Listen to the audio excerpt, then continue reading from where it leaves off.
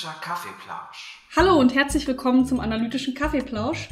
Das ist ein Podcast von einer Philosophin, das bin ich, ich heiße Rebecca, und einem Linguisten, das ist Paul. Hi. Und in diesem Podcast geht es um unsere beiden Disziplinen, um Popkultur und alles, was uns sonst noch so interessiert.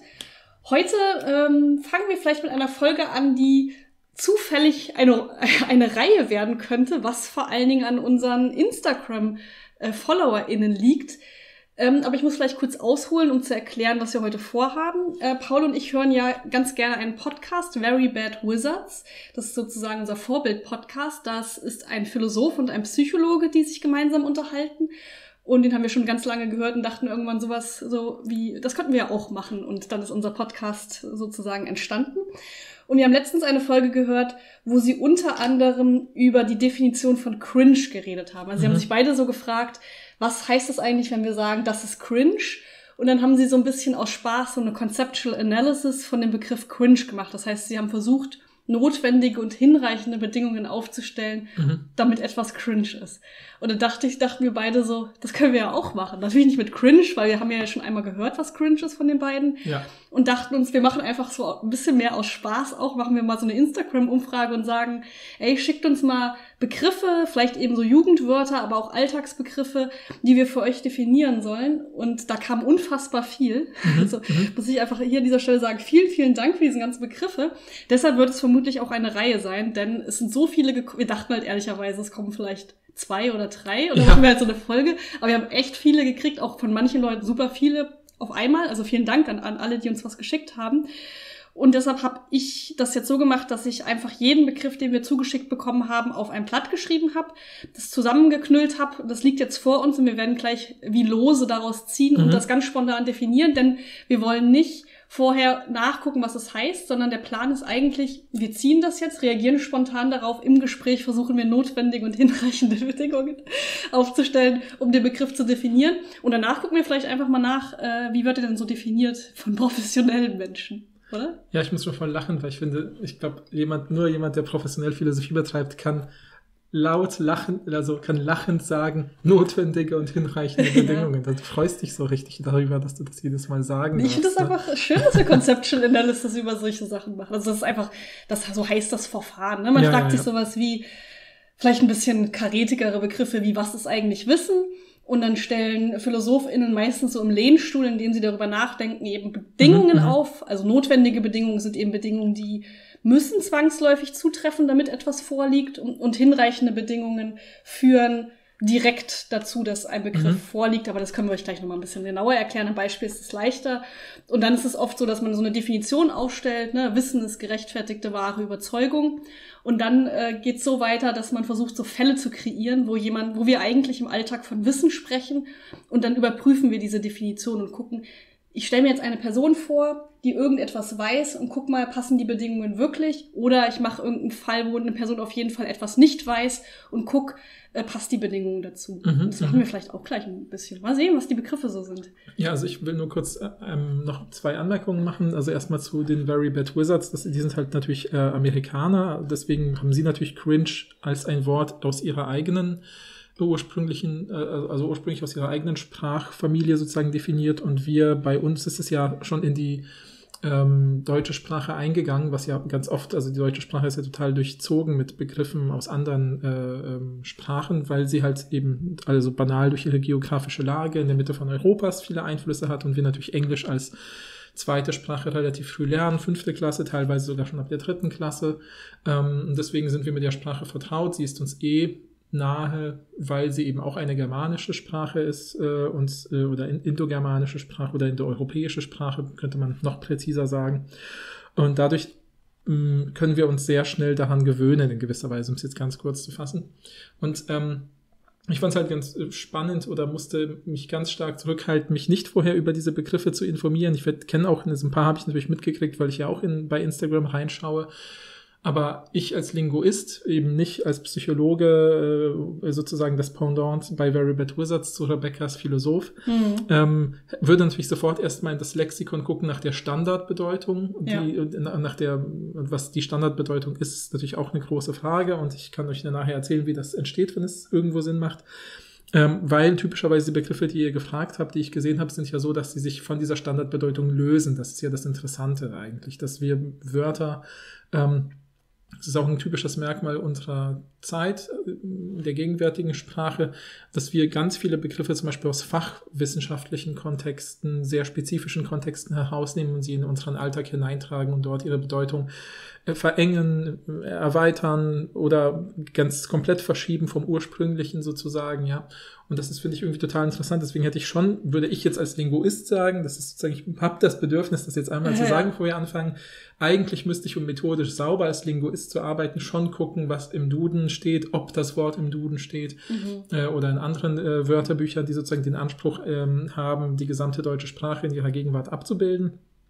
Ähm, damit ich damit arbeiten kann. Rebecca hat mir das aber verboten, deswegen werde ich jetzt mehr spekulieren, als es LinguistInnen typischerweise tun. Das müsste ich nur einmal loswerden, ja, also ich mich ganz dachte, Weil ich dachte, das wäre langweilig, wenn wir erst nachgucken. Ich dachte, das ist viel witziger, wenn wir zusammen uns auf eine Definition einigen, oder vielleicht streiten wir auch, ich bin mir nicht sicher. Mhm. Und dann hinterher gucken, was sagen eigentlich äh, die Wörterbücher und dann zu sehen, ah, stimmt, diesen Punkt, den haben wir gar nicht bedacht. Oder mhm, krass, mhm, den, mhm. das benutze ich ganz anders im Alltag oder so. Das ja, finde ich irgendwie ja, viel interessanter. Okay. Okay, ich muss auch dazu sagen, ich habe die Begriffe ja alle aufgeschrieben. Es gibt auch einen Begriff, den kenne ich nicht. Also ich bin, ne, ich bin ja auch 30. Ich glaube, ich weiß auch nicht mehr, was die Jugend heute sagt. Ja, was soll ich denn da sagen? hab, das heißt, möglicherweise gibt es auch einen Begriff, den wir beiden nicht kennen. Ich bin mir nicht sicher, ob du den kennst.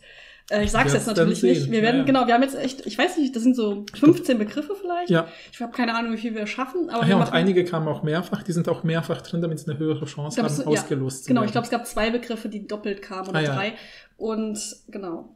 Ja, stimmt, die sind zweimal drin, richtig. Ja, das Da sind so sogar weniger Wörter, du hast recht. Das heißt, es sind so keine Ahnung, zwölf. Ist ja auch völlig egal. Möchtest du den ersten Begriff ziehen? Ja, okay, dann ziehe ich jetzt den Begriff. Unser erster zu definierender Begriff ist, ich muss ein bisschen umrühren. Damit man auch hört, dass wir wirklich machen. Hier sind so, Alle die Kopfhörer. So, und die erst, das erste, der erste Begriff, den wir definieren, ist Kunst. Oh Gott. Cool. Okay, so viel zum Thema, wir machen Jugendbegriffe. Ja, genau. Kunst, habt genau, ihr schon mal vielleicht gehört, so, paar, so Instagram-Kreisen. Ein paar Alltagsbegriffe sind äh, auch dabei, wobei, ob das jetzt ein Alltagsbegriff ist. Ich bin ja sehr froh, dass ich heute mit dir hier sitze, um Kunst zu definieren, weil das ist ja eins deiner Arbeitsschwerpunkte. Das heißt, ich werde mich kurz zurückziehen ja. und dir zuhören, wie du Kunst definierst. Ja, super. Oder soll, ähm, soll ich mit meiner Leiden ein? Nein, nein. Ja, ja, ja, genau. Also, vielleicht erzählst du kurz, dass du dich auch linguistisch mit Kunst auseinandersetzt. Ich weiß nicht, ob du ich beschäftige mich ja nicht linguistisch mit Kunst, sondern mit Kunstkommunikation. Das ist ein wichtiger Unterschied, weil Leute sonst sagen, hey, das, das können auch Sprach, also das könnte auch Kunstwissenschaftler machen, wozu brauchen die noch einen Linguisten? Aber der Punkt ist ja sozusagen, mich interessiert nicht, was an der Wand hängt. Das ist für mich auch interessant, sondern mich interessiert aber mehr das, was zwei Leute sagen, die davor stehen oder was sie da, darüber sprechen, wenn sie nach Hause gehen oder so. Ne? So wie wir hatten ja diese Folge über das Reden nach Theaterstücken. So in dieser Richtung könnt ihr euch das vorstellen. Das ist interessant. Mich interessiert die Art, wie über Kunst geschrieben wird äh, oder gesprochen wird oder gestritten wird, weil das ist ja spannend, weil man natürlich da im sozusagen jetzt ganz wirklich banal zusammengefasst Objekte werden erschaffen, die der hohen Deutungsoffenheit haben, die vielleicht auch politische Relevanz bekommen möchten, indem sie vielleicht ja irgendwelche Debatten anstoßen oder weiterführen oder hinterfragen. Ähm, das heißt, da wird ja sozusagen das Kommunikation über Kunst wesentlicher Teil von Kunst. Das ist halt für mich zumindest offensichtlich und deswegen damit genau mit diesem Abschnitt beschäftige ich mich sozusagen, mit diesem Ausschnitt der Welt. Und jetzt weiß ich zum Beispiel, ne, also erstmal banal, das weiß ich ja natürlich ein bisschen, woher, woher kommt Kunst und dieses Kunst kommt von Können, mhm. ist halt nicht nur ein billiger Spruch, sondern leider auch etymologisch wahr. Also Etymologie ist ja die Lehre von der Herkunft, von der ursprünglichen oder ja, von der ursprünglichen Bedeutung der Wörter. Das hatte ich auch schon mal in irgendeiner Folge erklärt, dass das ja lustigerweise, wenn man das Wort wörtlich wiederum die Etymologie von Etymologie sich anschaut, heißt es sowas wie die wahre Bedeutung von Wörtern. Das klingt halt so, als ob man, wenn man in die ursprünglichste Vergangenheit geht und die allererste Verwendung eines Wortes sich anschaut, wüsste man, was denn die Wahrheit ist an diesem Wort, was natürlich auch komisch ist, weil Wörter haben natürlich eine Geschichte und bei Kunst ist eben Teil der Geschichte, dass das eben, das sieht man eben tatsächlich an den Worten Kunst und Können sind halt tatsächlich irgendwie mal verwandt gewesen. Äh, und das hat also was mit Kompetenz, vielleicht am ehesten könnte man es heute beschreiben zu tun. Also das ist sehr nah, das, der alte Kunstbegriff ist sehr nah an Kompetenz. Das sieht man auch an sowas wie, was weiß ich, die Kunst des Fechtens oder sowas, ja, oder mhm. die Kunst des Überzeugens. Ja, das hat ja was wenn man da jetzt Kompetenz einsetzt, ist sofort klar, was gemeint ist. Ja, die Kompetenz Mhm. des Überzeugens. Hat diese Person Kompetenzen im Feld des Überzeugens? Aber, aber Kunst, Moment, die Kunst des äh, Überzeugens, das wäre dann, dann wär, das ist aber nicht der Begriff, von dem wir jetzt reden, weil das wäre Genau. eher im metaphorischen Aber Sinne. genau, das ist die So wie alte. wir auch sagen, äh, sozusagen Unternehmensphilosophie. Das ist ja, Ja, auch nicht, genau, ne, genau, ist auch genau, vielleicht genau. nicht die Philosophie, die ich betreibe an der Ja, Uni ja, oder so, aber man nennt das im metaphorischen Sinne auch. ja, ja, ja, genau, genau. So, dann schreibe ich doch direkt mal als erste Bedingung Kompetenz auf, richtig? Nein, nein, nein, Nein? Ich wollte nur sagen, das ist die alte Bedeutung sozusagen. Äh, äh, und, und das Interessante ist ja, dass es sich davon gelöst hat zu, zu dem Ding an sich halt. Ne? Also zu dem, was man mit Also nicht, nicht dem, so meine ich das nicht, aber zu dem Ding, was man herstellt. Also ja. Es also wird etwas hergestellt. Ein Objekt wird hergestellt. Ist das Wieso bist du denn so scharf drauf, Dinge Entschuldigung, ich habe ja hier, ich bin ja, du, du hast dich ja schon professionell mit der Definition von Kunst beschäftigt. Das ist Mhm. natürlich jetzt ein Nachteil. Wir wollten ja eigentlich Begriffe nehmen, die wir noch nicht kennen, aber es ist jetzt, kann ja niemand wissen. Ne? Könnt Ja. ihr ja nicht wissen auf Ja, ja, ja. Instagram. Ähm, und ich dachte, meine, und da ich jetzt nicht so viel da beitragen kann, weil du jetzt wahrscheinlich schon super viele Sachen sagen wirst, Mhm. ist jetzt meine Aufgabe, scharf nachzufragen, ob das eine notwendige oder hinreichende Ah, ja. Bedingung sind. Okay, dann würde ich ja das mit dem. Okay, ich würde schon sagen, dass das notwendig ist, dass es hergestellt ist und typischerweise auch in der Verwendung des Wortes von Menschen hergestellt. Ein Objekt, das von Menschen hergestellt ist, mir, da stelle ich mir direkt ja mehrere Fragen. Ich bin jetzt die Person, die auch solche Fälle machen muss, Ja, ne, um das zu ja, überprüfen. Was ist mit Performance? Da wird ja kein Objekt hergestellt. Also wenn Doch, man jetzt so eine also, Performance-Kunst ja. äh, Mhm, macht, mhm. ne, also in in meiner laienhaften Mhm. äh, Vorstellung ist das jetzt zum Beispiel jemand, äh, der einfach ähm, für eine Woche auf dem Boden sitzt und nichts isst oder so. Das Mhm. könnte ja eine Performance sein, ne? Ja, Beispielsweise. Ja, Das ist ja kein, da wird ja kein Objekt hergestellt. ja. Das stimmt, das ist gut. Ja, gut also müssen wir jetzt Objekt wird natürlich hergestellt streichen, ja, wegstreichen.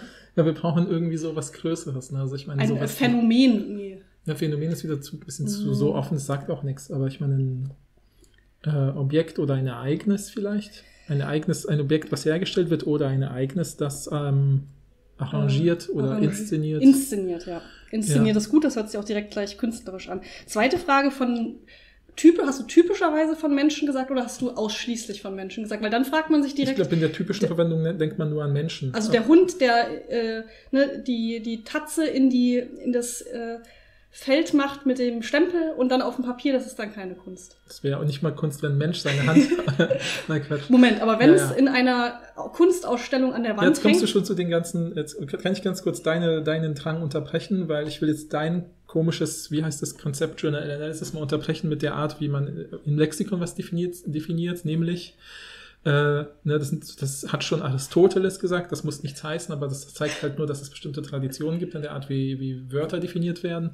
Nämlich, wenn man ein Wort definiert, gibt man zwei Dinge an, nämlich das Genus Proximum, also sozusagen den nächsten, nächsthöheren Stamm.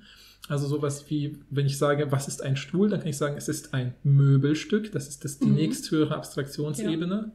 Ja. Und dann brauche ich nach dem Genus Proximum eine Differentia Specifica, also eine, eine die Differenz, die, das, was das Ganze spezifisch von anderen Möbelstücken abgrenzt. Also, Mhm.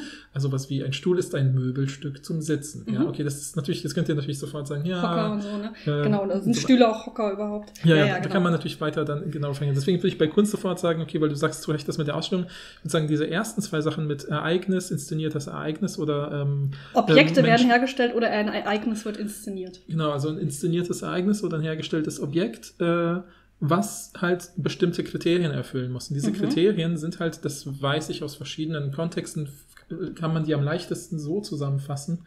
Ähm, das hat äh, ein Anthropologe, dessen Name mir jetzt natürlich spontan nicht einfällt, mal schön beschrieben. Der hat sich verschiedene ästhetische Zugänge angeschaut, also ästhetik-theoretische Zugänge zu Kunst und hat letztlich gesagt, es gibt so, so grob drei Rahmen, vor deren Hintergrund Objekte als Kunst als Kunst gemessen werden oder nicht gemessen werden, die sich oft auch mit so Leitdifferenzen unterscheiden lassen. Also Leitdifferenzen halt ist zum Beispiel eine Leitdifferenz im System Recht ist zum Beispiel eben legal, illegal oder so, ja. Mhm. In dieser, in dieser Spannbreite definieren wir dann Dinge, wenn wir vor dem Hintergrund des Rechts schauen. Und vor dem Hintergrund der Kunst ist eine der, der ersten typischen äh, Kriterien oder Leitdifferenzen eben die ästhetische Schiene, dass man eben schaut, ist etwas schön oder nicht schön. Jetzt könnt ihr natürlich alle sofort sagen, ja, wer definiert denn schön? Und ich kenne Kunstobjekte. Es gibt diesen einen italienischen Künstler, der hat seinen Code in Dosen verpackt und teuer verkauft und ist das auch schön oder sowas ne? und so ähnlich. Und kann man sagen, ja, ich finde das total schön, nein, ich finde im Sinne von witzig und so weiter. Und dann gibt es zig verschiedene Schönheitsbegriffe, die leider ein bisschen verloren gegangen sind aus der Alltagssprache, die es aber zum Beispiel bei Kant und Schiller noch gab, sowas wie zum Beispiel Erhabenheit. Also das Erhabene ist sowas wie ein Gewitter über Bergen. Das ist ja kein Kunstobjekt, hat aber auch was Schönes. Es ist nicht schön wie eine Blumenwiese voller Bienen, aber es ist irgendwie besonders oder das, wenn man mhm. sich am Meer steht und das Meer rauscht und es stürmt oder so, es hat ja auch was Besonderes. Ja, das wurde früher das Erhabene genannt. Ähm, genau, aber das sind so verschiedene ästhetische Begriffe, die es dann gibt. Aber letztlich könnte man eben sagen, es gibt dieses, es muss ästhetischen Kriterien ja. irgendwie genügen und dass die natürlich zeitabhängig sind und, und so weiter und historisch gebunden und mentalitätsgeschichtlich gebunden ist völlig klar. Das andere Kriterium ist ähm, zu sagen, äh, der interpretative, das interpretative Kriterium nämlich hat das Ganze sozusagen eine, eine höhere Bedeutung die darüber hinausgeht, eine vielleicht. Also ja, also der Hund, der zum Beispiel in die in Stempelkissen und dann hängt man das ins Museum, um zu zeigen, dass äh, wir Tiere ausbeuten. Das könnte so eine tierische Ausbeutungsausstellung äh, sein, ne? Ja, genau. Ja, und wir haben natürlich, ja. den, ne, weil wir haben den die Foto auch äh, hochgehoben in Stempelkissen und der dachte sich so, was soll das? Entschuldigung, das ist meine interpretative. Das ist jetzt keine, das ist nicht die beste interpretative Ausstellung, mhm. die man machen kann, aber ich versuche hier nur Beispiele ja, ja. Ich würde vielleicht ein einfaches Beispiel nehmen, ja, zum Beispiel, wenn man sagt, ein Gedicht von Goethe liest man halt und dann wird davon eben behauptet in der Schule und in den Bildungsplänen, dass da irgendwie eine tiefere Bedeutung über das Menschsein an sich drin steckt oder sowas, dass es, dass es sich lohnt, das Ganze zu interpretieren, weil dahinter etwas steckt, was uns vielleicht anderweitig nicht zugänglich wäre oder so, dass wir sozusagen diese, im weitesten Sinne diese interpretative, dieses interpretative Kriterium. Und davon gibt es eine Unterform, die aber sich fast schon zu einer dritten eigenen Kriterienform entwickelt hat, nämlich die institutionalisierte, mhm. dass man eben, das ist nämlich dieses, dieses mh, hm, Eingeständnis, dass man sagt, ja, okay, wenn es in einem Museum steht, halten wir es erstmal für Kunst, ja. Also auch dieses, dieses klassische Beispiel, was weiß ich, das, wie heißt der Künstler, das komme ich nicht auch da auf den Namen nicht, der so, der, das ist so das klassische Beispiel, was immer genannt wird, die Ready-Made-Kunst, also da hat jemand ein Pissoir, ähm, sozusagen auf den Boden gelegt, so dass das Wasser, wenn man spült, hochspritzen würde und hat es Fontäne genannt. Ich komme jetzt nicht auf diesen Namen, aber es ist so ein Klassiker. Ähm, Sollte es jemanden interessieren, können wir das bei ja, äh, Instagram ja. noch nachschießen. Ja, genau. Und ähm, das ist dann so, das kennt, kennen, glaube ich, glaub, fast alle Leute, die sich ein bisschen mal mit Kunst beschäftigt haben. Und dieses Institutionelle ist natürlich auch wieder so eine Art zu sagen, ja, okay, wenn, wenn die Fachleute entschieden haben, dass das irgendwie Kunst ist, ist es vielleicht Kunst. Weil, weil Kunst sich eben schon so weit entwickelt hat in unserer Gesellschaft, dass es, äh, ähm, man sagt, da muss man halt ganz viel theoretisches Vorwissen haben. Alle diese Begriffe sind problematisch, ja. aber gleichzeitig schweben sie alle also die sind alle allein problematisch, die sind auch, werden alle sofort problematisch, sobald man sie als das Wesentliche gegenüber den anderen beiden positioniert. Aber ich glaube, alle drei schweben in unserer Gesellschaft so als Ideen, sowohl im Positiven als auch im Negativen. Ja, also mhm. es gibt also sie Leute, wären dann aber auch nicht notwendig, ne? Weil ja, notwendig ja. bedeutet, sie müssten zwangsläufig vorliegen. Mhm, sie mhm, müssen nicht mhm. zwangsläufig vorliegen, aber wenn sie alle vorliegen, dann würden wir schon von Kunst sprechen. Also wären sie gemeinsam hinreichend, ja. aber nicht notwendig. Ja, das Interessante ist eben, ja, ja, das Interessante daran ist eben vielleicht, dass zum Beispiel diese Kriterien, diese drei Kriterien, Kriterien, die ich gesagt habe, stammen aus diesem Text von einem Anthropologen, auf den mich ja lustigerweise unsere damalige Gästin Anne Dippel äh, hingewiesen hatte, nachdem wir noch ein mhm. bisschen frei geredet haben, äh, weil sie eben gesagt hat, es gibt so einen schönen Text von diesem, äh, ähm, ähm, von diesem Anthropologen aus den 90ern, der heißt eben Art is a Trap and Traps as Art, also Kunst als Falle und Fallen als Kunst. Ähm, und da beschreibt er eben, dass ganz viele Kriterien, die in Ästhetik, westlichen Ästhetiktheorien auf Kunst angewendet werden, könnte man eben auch auf Fallen äh, interpretieren, weil Fallen zeigen also ja zum Tierfallen. Beispiel Tierfallen, ja. ja. Die Leute, die eine Falle aufstellen, um zum Beispiel sich ein kleines Tier zu fangen und daraus dann vielleicht eben Nahrung oder Fälle oder so zu gewinnen. Wenn man auch sagen könnte, guck mal, wenn ich das jetzt mit der Art beschreibe, wie wichtige TheoretikerInnen der westlichen Kunst das machen, könnte ich sagen, ja, in dieser Falle zeigt sich das Verhältnis des Menschen zur Kunst. Es ist ein hoch durchdachtes Artefakt eines meisterhaften Menschen, äh, der weiß, der die weiß, wie man äh, Tiere fängt, wie sich Tiere verhalten, der ein Verständnis von Natur hat oder sowas ne, und von seiner eigenen Umgebung. Ähm, und so weiter. Also man kann da ganz viele Sachen hineintragen und ich glaube, das ist ein ganz toller Text, witzig, weil er genau das schön auflöst. Können ne? wir euch auch mal verlinken. Ja, deswegen könnte man vielleicht im weitesten Sinne sagen, ein Artefakt und, mhm. oder so und Artefakt fast, glaube ich, finde ich eben auch äh, sowas wie äh, eine Performance, weil ich meine, eine Bühnen, also sich eine Theaterperformance erschafft ja auch etwas, ja, also Mhm. bestimmte Bewegungen im Raum, äh, die ja, also das weiß ja jeder, sobald jemand eine Performance macht, selbst wenn da keine Bühne ist, entsteht ja sofort so ein virtueller, also jetzt nicht im Sinne von digital virtuell, aber ein virtueller Bühnenraum, den sich Menschen vorstellen und sagen, ich, ich muss einen bestimmten Abstand einhalten, äh, um zum Beispiel dieser Person den Raum zu geben und so weiter. Ne? Also man hat sofort diese dritte Wand, oder vierte Wand, Entschuldigung, diese vierte Wand, die dann so entsteht zwischen den Performenden und den Wahrnehmenden und so. Jetzt können wir vielleicht sowas sagen wie Artefakte, die, die, da- das mit den so Menschen, meist, Klammer auf, menschengemachte Artefakte, die, ähm, Aber das das kommen wir doch gar nicht. Wir haben ja auch die ne, jetzt künstliche Intelligenz, die macht ja auch Kunst und so. das, Jetzt. Mhm. ja, das ist natürlich eine spannende Frage, Neuerdings. ja. Deshalb braucht man den Mensch ja gar nicht eigentlich. Ne?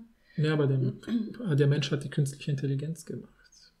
Hm. Ja, aber wenn sie sich selbst weiterentwickelt hat, um Kunst zu schaffen.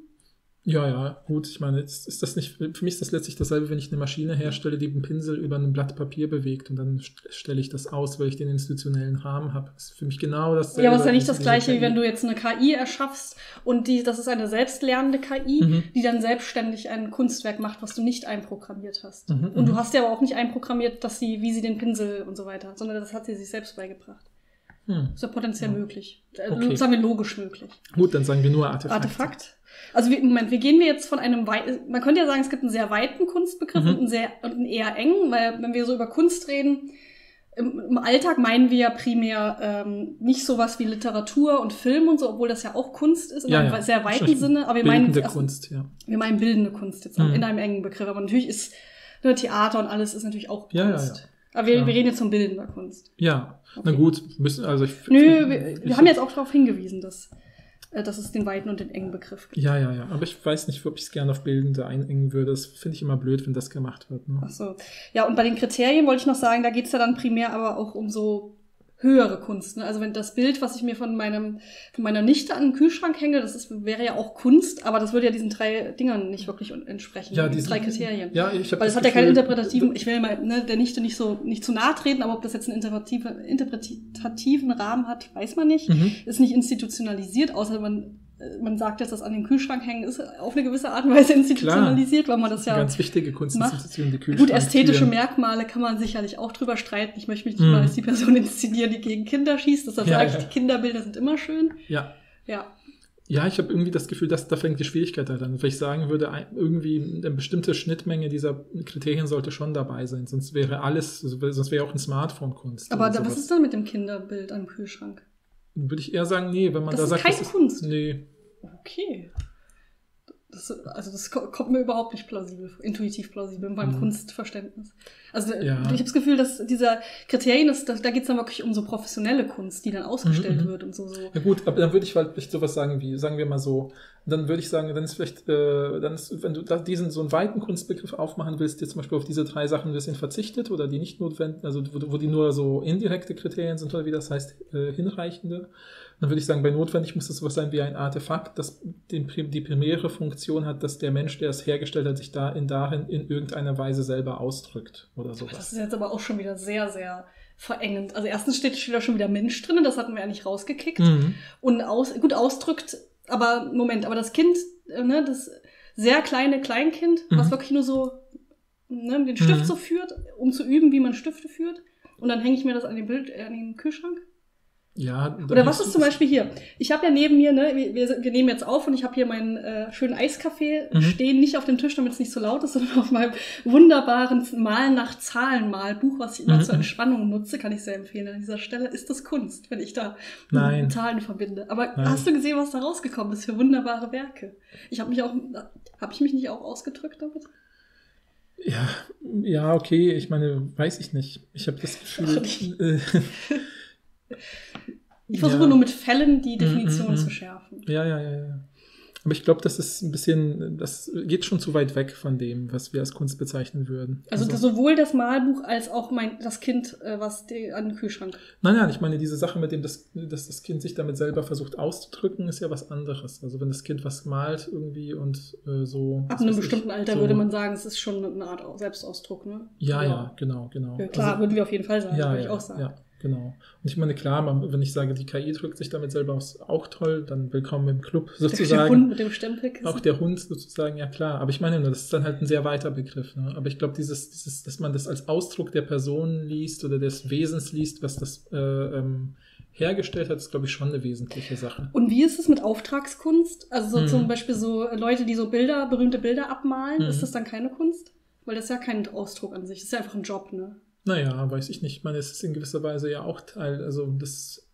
Ich glaube schon, dass man das äh, natürlich so. Hm. Also ich meine wirklich dieses eins zu eins abmalen, das gibt es ja, also Kopien, die man ja herstellt. Ich meine, aber guck doch mal diese ganzen alten wichtigen Künstler, bis sich wie Da Vinci, der dann die Sixtinische Kapelle malt, das war auch eine Auftragsarbeit und wir sehen trotzdem nee, ich meine jetzt nicht auf, Züge von Da Vinci. Nee, nee, ich meine nicht, dass man kein Geld dafür kriegen. Mhm. Also ich, außerdem ist es überhaupt nicht, ich versuche ja nur diese mhm. Definition von dir zu challengen. Ja, ja, ja, ja. Ich meine wirklich, es gibt ja so Leute, die malen die Mona Lisa genauso wie von Da Vinci, malen die das ab. Mhm. Und dann verkaufen die das weiter für weniger Geld natürlich. Mhm, mhm.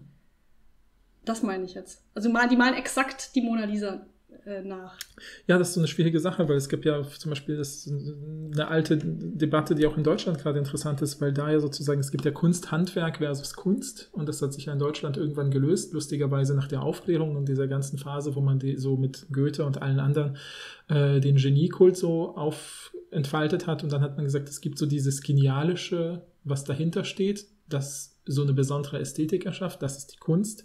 Mhm. Und wenn jemand irgendwie wunderbar filigrane Porzellantassen herstellt und die irgendwie mit Goldrand bemalt und kleine mhm. Blümchen draufmalt, das ist halt nur Kunsthandwerk. Mhm. Da, da wird niemand in der Porzellantasse was Tiefes sehen. Aber ich glaube schon, dass die Person, die das macht, also wenn das jemand ist, der das gerne und gut macht, kann sie sich auch damit ausdrücken. So wie vielleicht jemand, der mh, hm, was weiß ich, zum, sag ich mal, zum Spaß schnitzt seit 40 Jahren, schnitzt bestimmt auch toll, sozusagen. Ja, ja sicher. Also ich würde das, auch nicht absprechen, dass das keine Kunst ist. Ja, aber ich wollte dann sagen, in der Alltagswahrnehmung ist dann trotzdem da, irgendwie scheint da so, eine, so ein mhm. Unterschied zu sein mit Kunst, Handwerk und Kunst, ne, die, die ich gerne irgendwie in dieser Definition drin hätte, die aber schwierig natürlich mit so Grenzfällen schwierig zu greifen ist. Ja, ich habe auch das Gefühl, das Einzige, was wir haben, ist Artefakt bisher. Hat, hat sich nicht als, hat sich nicht als äh, mhm. allgemeingültig erwiesen, weil ja. ne, Hersteller, es gibt irgendeine Art von HerstellerInnen, ob das jetzt menschlich oder mhm, tierisch mhm. oder äh, künstlich ist, aber HerstellerInnen.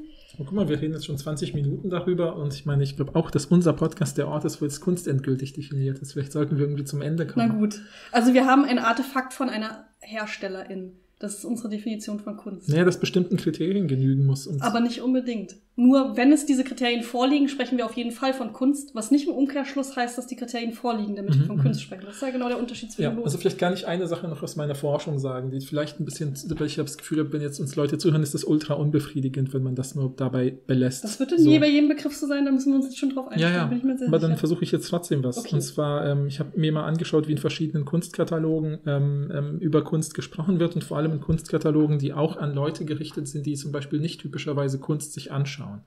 Es gibt halt eine andere Linguistin, Rachel Zieten, die hat sich mal damit beschäftigt, was Kunstkataloge machen und sie hat mal geschrieben, dass es auch eine der wichtigsten Funktionen von Gegenwartskunstkatalogen ist, den Leuten das, was sie sehen, als Kunst überhaupt erst plausibel zu machen. Also, dass sie sozusagen akzeptieren, dass zum Beispiel eine Performance äh, Kunst ist und eben nicht nur Gemälde und Skulpturen, jetzt als sehr banales Beispiel, ja. Ähm, und ich habe mir sozusagen genau solche Texte angeschaut und versucht, alle Muster rauszuholen, die benutzt werden oder Argumentationsmuster, die benutzt werden, um Leute zu überzeugen, dass etwas Kunst ist. Und alle diese Muster, es sind viele, ich weiß nicht mal mehr wie viele, habe ich versucht in, zu clustern, also zu kategorisieren in verschiedene Teile.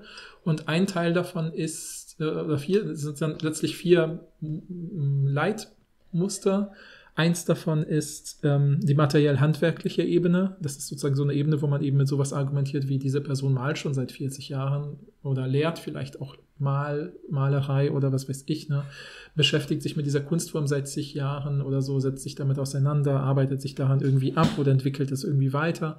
Ähm, das ist sozusagen so eine, eines dieser Muster. Das alleine reicht natürlich nicht.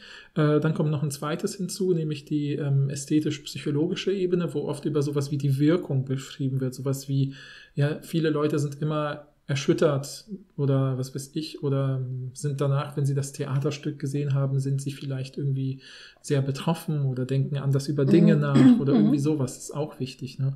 Ist auch interessant, weil ich immer wieder, wenn ich, also so, das ist eine kleine Fußnote, wenn ich zum Beispiel ich schaue mir gerne Videos darüber an, wo Leute darüber diskutieren, welche Videospiele vielleicht nah an dem sind, was man als Kunst begreift, was natürlich spannend ist, weil die Leute auch darüber reden, was Kunst ist implizit, wenn sie sagen, mhm. dieses Videospiel könnte man als Kunst verstehen, denn ähm, und da wird ganz oft äh, sozusagen versucht, immer der Switch zu machen vom Handwerklichen weg. Sowas wie die Grafik sieht top aus, ja, deswegen hier 90% Grafik, äh, Sound 95%, also Kaufempfehlung. Die versuchen dann weg von dem zu, zu sowas wie einer Wirkung zu gehen. So, hey, dieses Indie-Spiel sieht nicht toll aus, aber ich denke immer sechs Jahre später immer noch daran zurück oder so, weil es mich beschäftigt, weil ich es weitererzähle oder sowas, ja.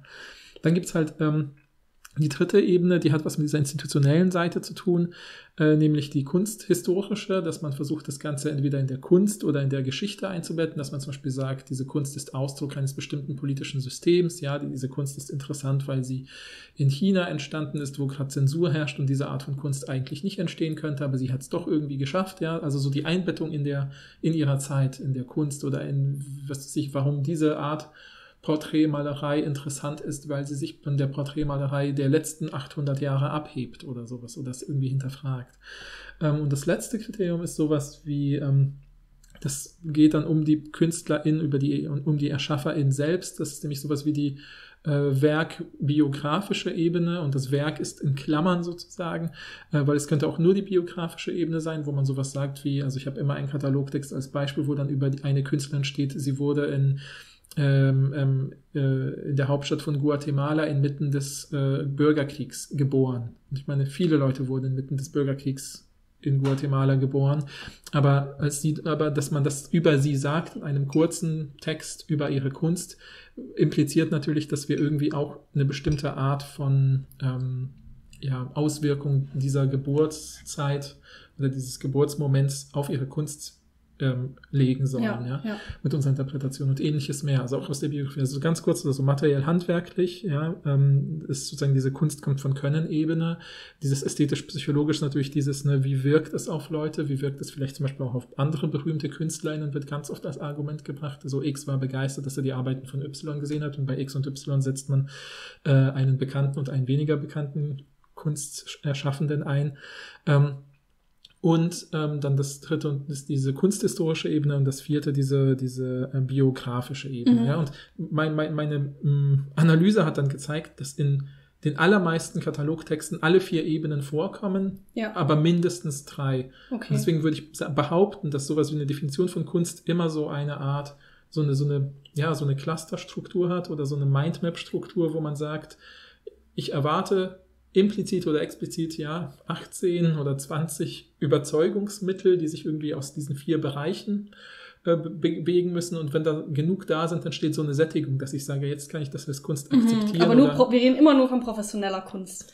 Ne? Wir reden Wieso? immer noch nicht von dem Bild am Kühlschrank. Ja, aber, ja, aber jetzt kann ich ja mit diesen vier Kriterien kann ich da dran gehen. Die materialhandwerkliche Ebene ist, äh, Lisa malt seit drei Monaten, äh, also ist sie wahrscheinlich noch keine Meisterin in der Kunst. Hat, welche ästhetisch-psychologische Wirkung hat das? Naja, aber auf die meisten, die denken dann vielleicht, ach, für süß, ihre ersten Malversuche.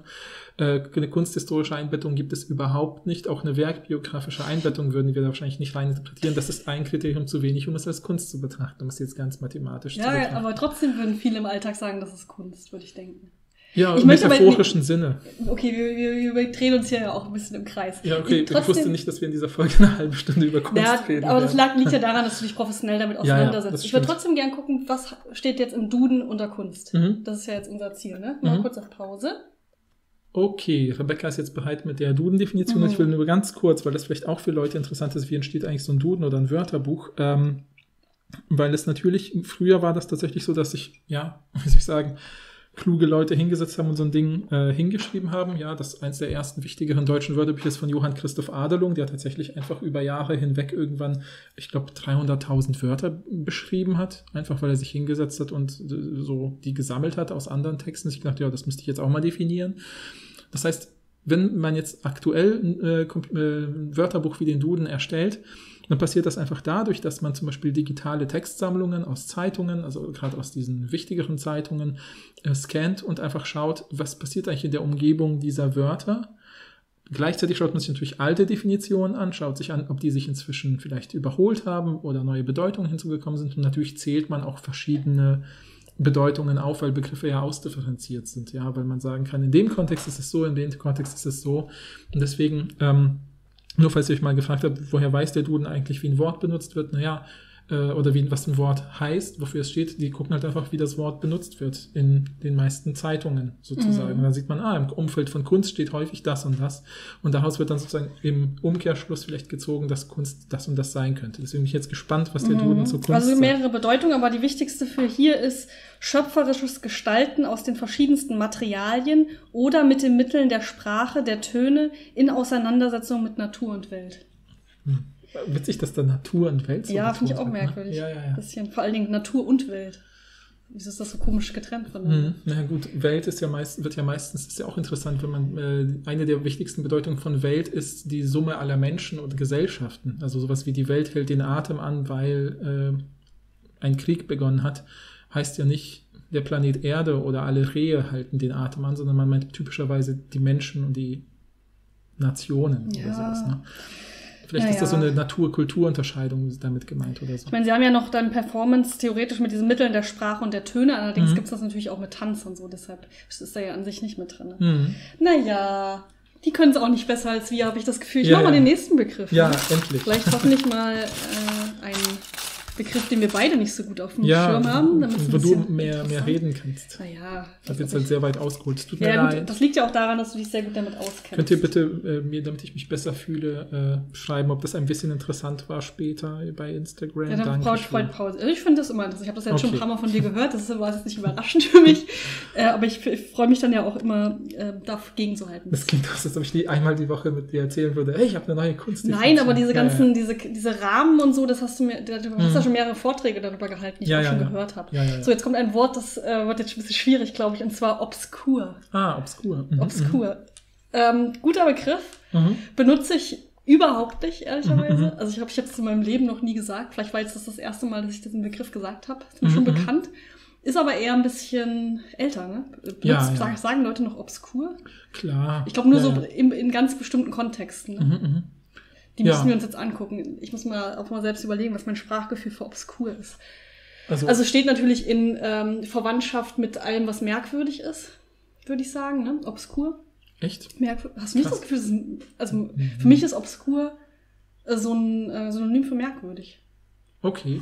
Ja, ich verstehe, was du meinst, aber ich glaube, das trifft, würde ich intuitiv schneidet das nur ein Drittel der Bedeutung an. Okay äh, ein bestimmtes, also in Bezug auf Kunst oder so würde ich das vielleicht sagen oder auf so sowas wie David Lynch Filme oder so. Ja, ich habe das Gefühl, weil man sagt ja oft sowas wie, dass du Leute haben obskures Hobby oder so. Mhm, mhm. das ist, wäre für mich so eine Verwendung für obskur. Mhm, mhm. Ähm, Und das ist dann so ein bisschen nischig. Also, mhm. dass Leute das, das selten vorkommt, würde ich sagen, wäre vielleicht irgendwie ein Kriterium für Obskurnis. Obskur, obskur, was ist denn das Nomen davon? Weiß ich nicht. Obskurität? Ja, vielleicht, keine Ahnung. Das auch gleich Obskurheit vielleicht. Obskurheit. Ich weiß es nicht. Also, dass es irgendwie selten ist mhm. und ein bisschen so ungewöhnlich. Vielleicht ist es mhm. ungewöhnlich besser als merkwürdig. Okay.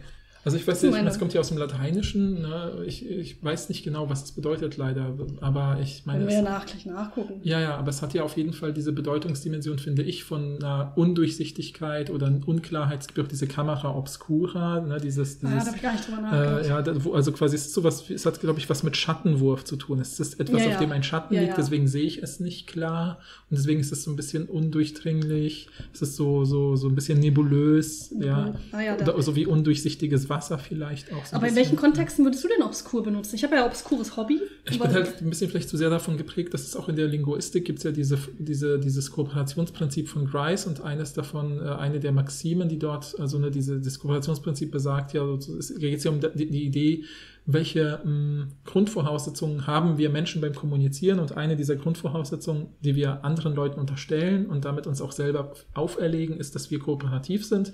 Ja. Und das ist banal gesagt einfach nur, wenn ich jemanden frage, wo der Bahnhof ist und die Person sagt, da vorne und dann links, dann gehe ich nicht davon aus, dass die Person lügt, sondern ich gehe davon aus, dass sie kooperativ ist und nach bestem Wissen und Gewissen mir den Weg beschrieben mhm. hat. Und ähm, Grice sagt, wir folgen in gewisser Weise bestimmten Regeln, die er dann halt Maximen nennt, in Anlehnung an so philosophische Sachen wie eben auch Kant. Doverweise finde ich, ist aber eine andere Diskussion. Äh, und es gibt die sogenannte Maxime ähm, der Modalität, ähm, wo er sagt, ähm, sei klar, vermeide zum Beispiel obskure Ausdrucksweise. Das heißt, Aber es sagt, äh, Moment, heißt es nicht opak? Verwechselst du opak und obskur? Nein. Mhm. Nee, okay, weil auf keinen Fall. aber ich weiß opak. es sehr genau, weil ich das vor drei Okay, Wochen unterrichtet habe.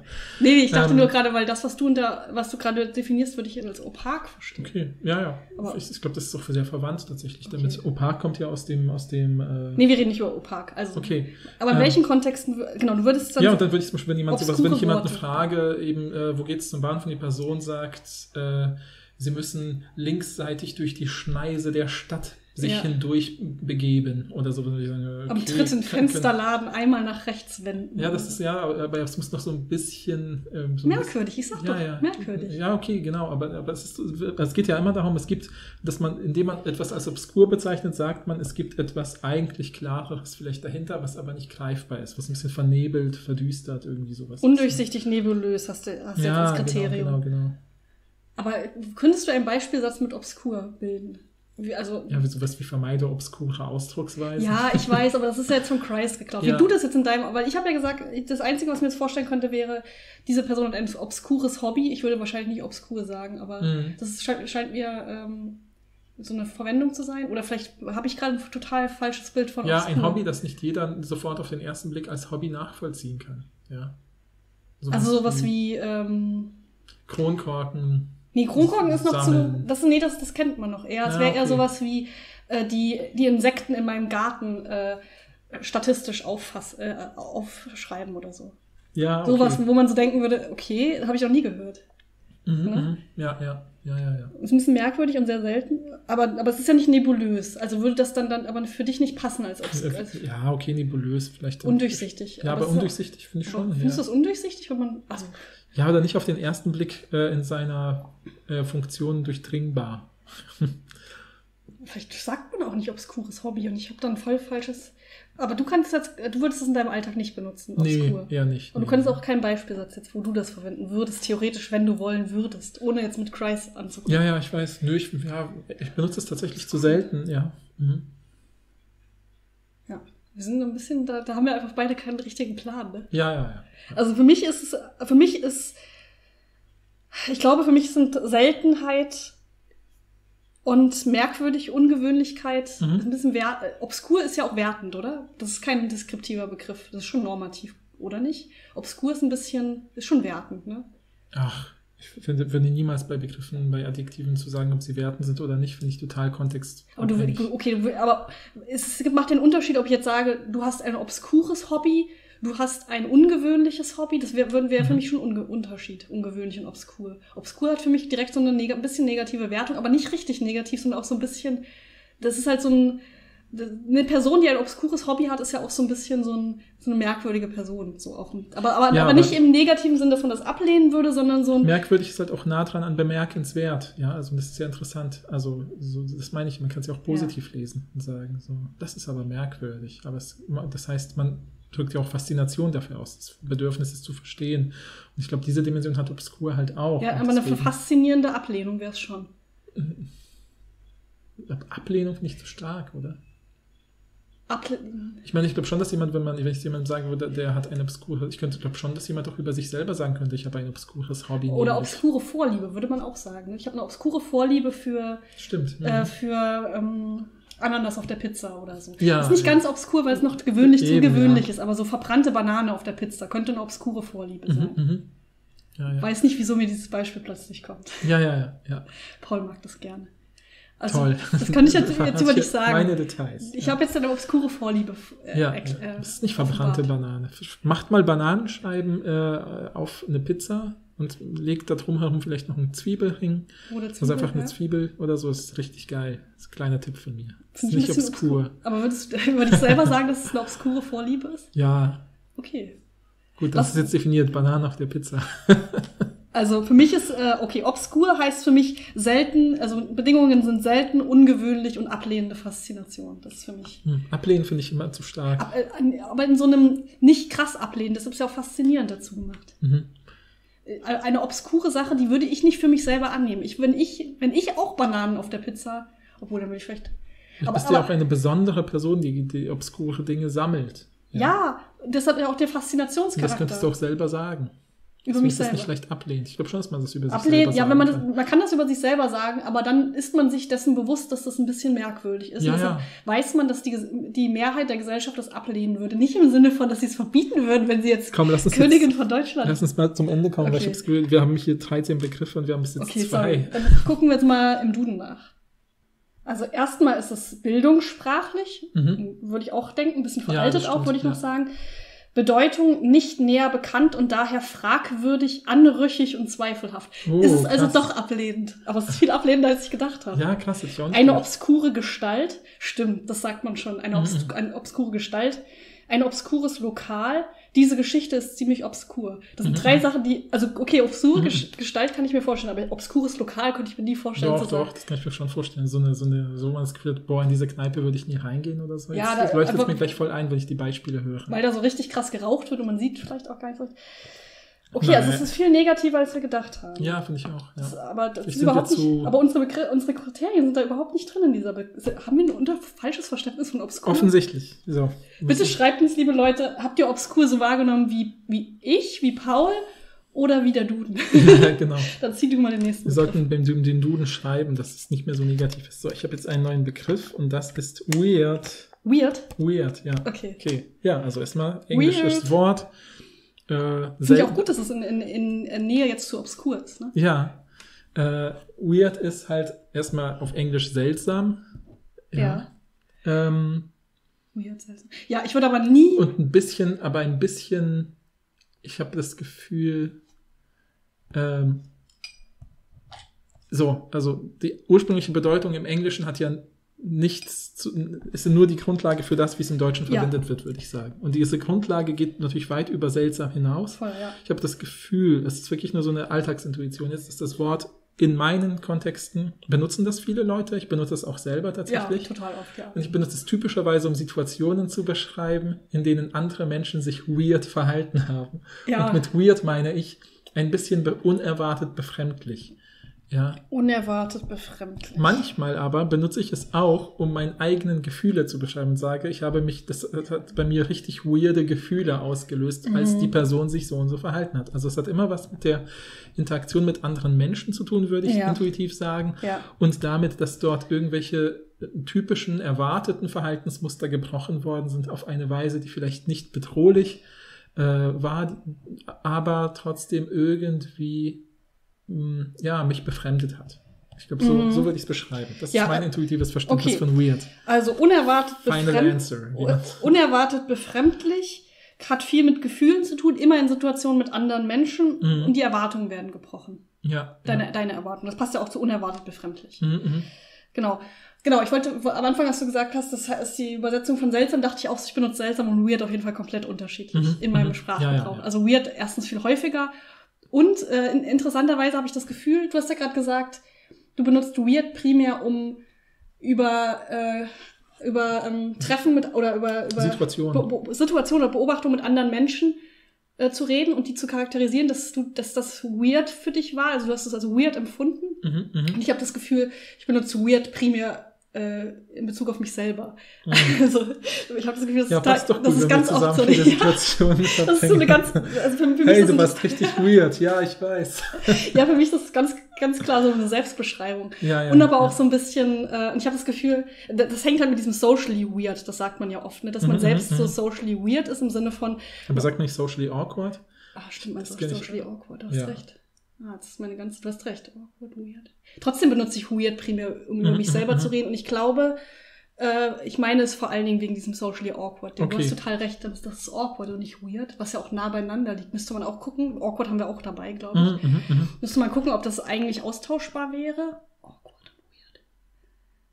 Jetzt muss ich Ja, gerade überlegen, weil ich war mir gerade voll sicher, als ich angefangen habe zu reden, dass ich weird primär benutze, um mich selber zu charakterisieren und auch ein bisschen, um mich, ähm, äh, dass es so, so eine, so eine, so eine Selbstcharakterisierung äh, Charakterisierung ist, die irgendwie in den letzten Jahren auch so on vogue geworden ist, dass Mhm. man sich selber so als socially awkward bezeichnet und als weird und Mhm. sich damit aber, da man, da, da man irgendwie festgestellt hat, so auf Social Media und so, vielen Leuten geht es so, dass sie Mhm, nach mhm. irgendwelche, gerade wenn man irgendwie introvertiert ist, so wirklich ein bisschen merkwürdig sozial, äh, was ich auf jeden Fall bin, dass, ähm, dass man aber irgendwie jetzt so festgestellt, ah, es geht vielen Leuten so und dann benutzt man das so als Selbstzuschreibung, die früher Klar. negativ war Ja, und jetzt ja. positiv geframed ist, Ja. weil man das sich über sich selber lustig macht. Das merke ich an mir selber total. Ja, ja, ja. Aber du hast recht, vielleicht ist es mehr awkward als weird. Mhm. Aber ich glaube, ich benutze es trotzdem, um mich selber zu bezeichnen. Als, Also, dass ich mich selber äh, so ähm, verhalten habe, dass ich das Gefühl habe, andere Leute nehmen das jetzt merk als Mhm. merkwürdig wahr. Mhm. Das ist ja genau das Gleiche, was du auch sagst, nur dass ich das Gefühl habe, ich bin weird und andere Leute denken Ja, sich, ja. Alter, was ist denn mit der los? Ja, ja, ja. Also haben wir wahrscheinlich sogar das, ein ähnliches Bild. ja Unerwartet befremdlich. Kann ich vielleicht noch ergänzen, dass eine typische Bewegung in Sprachgeschichte ist, dass Begriffe, die für randseitiges, abseitiges stehen, von einer in einer bestimmten etablierteren Generation, sage ich mal der älteren Generation, werden typischerweise von der jüngeren Generation sozusagen äh, angenommen und ins Positive verkehrt. Ja, dass man also ja, ganz genau. banal gesagt, also also ich, ein Beispiel, was zum Beispiel zu meiner Zeit, als ich so in der Schule und Oberstufe war, was total umgedeutet wurde, war pervers. Also sowas wie, Ja, dass, dass. Leute das Wort genommen haben und dann gesagt haben, so, Alter, dass dein Auto richtig pervers aufgemotzt. Ja, oder die Pizza hat so richtig pervers geschmeckt. Ja, genau. Ja, genau. und das was weiß man, Gutes. sie war irgendwie fettig, aber irgendwie auch, geil, auch geil, ja. Und geil, Geil ist selber auch- auch, so ein Beispiel, geil. was ja früher. Aber interessanterweise würde ich sagen, jetzt ist pervers wieder zu dieser ursprünglichen Bedeutung, die negativ ist, oder? Niemand würde doch sagen, die Pizza schmeckt pervers. Habe ich, Ja, hab ich das das ist auch, 15 ja, Jahren ja. nicht mehr gehört. Das ist auch interessant, weil Begriffe sind halt oft, na, das ist so interessant, also auch ein normales Merkmal von Sprache ist, dass sie unter, in so Unterteilsysteme aufgeschlüsselt ist. Und wenn etwas zum Beispiel im Bereich der, der Begriff ist problematisch, aber ich nutze ihn jetzt trotzdem mal aus populärwissenschaftlichen Gründen, Jugendsprache, wenn etwas in der Sprache der Jugend sich bewegt, ähm, kann es halt sein, dass es von anderen Ebenen aufgegriffen wird. Ja, dass zum Beispiel so ein Wort wie geil dann eben auch letztlich äh, in den Alltag eingeht, weil zum Beispiel, ähm, was weiß ich dann, Saturn Werbung macht mit Geiz ist geil oder sich die Bildzeitung popularisiert, popularisiert das dann auch, indem sie es benutzt oder sowas. Ähm, und ähm, ich glaube, das ist bei Pervers halt nicht passiert. Das hätte passieren können, ist aber nicht passiert, ja. Also ich Ähm, nehme es mal an, Leute, ins, äh, hören ja auch so ein paar Leute, die viel jünger sind als die, Mhm, auch die mhm. noch in der Schule sind.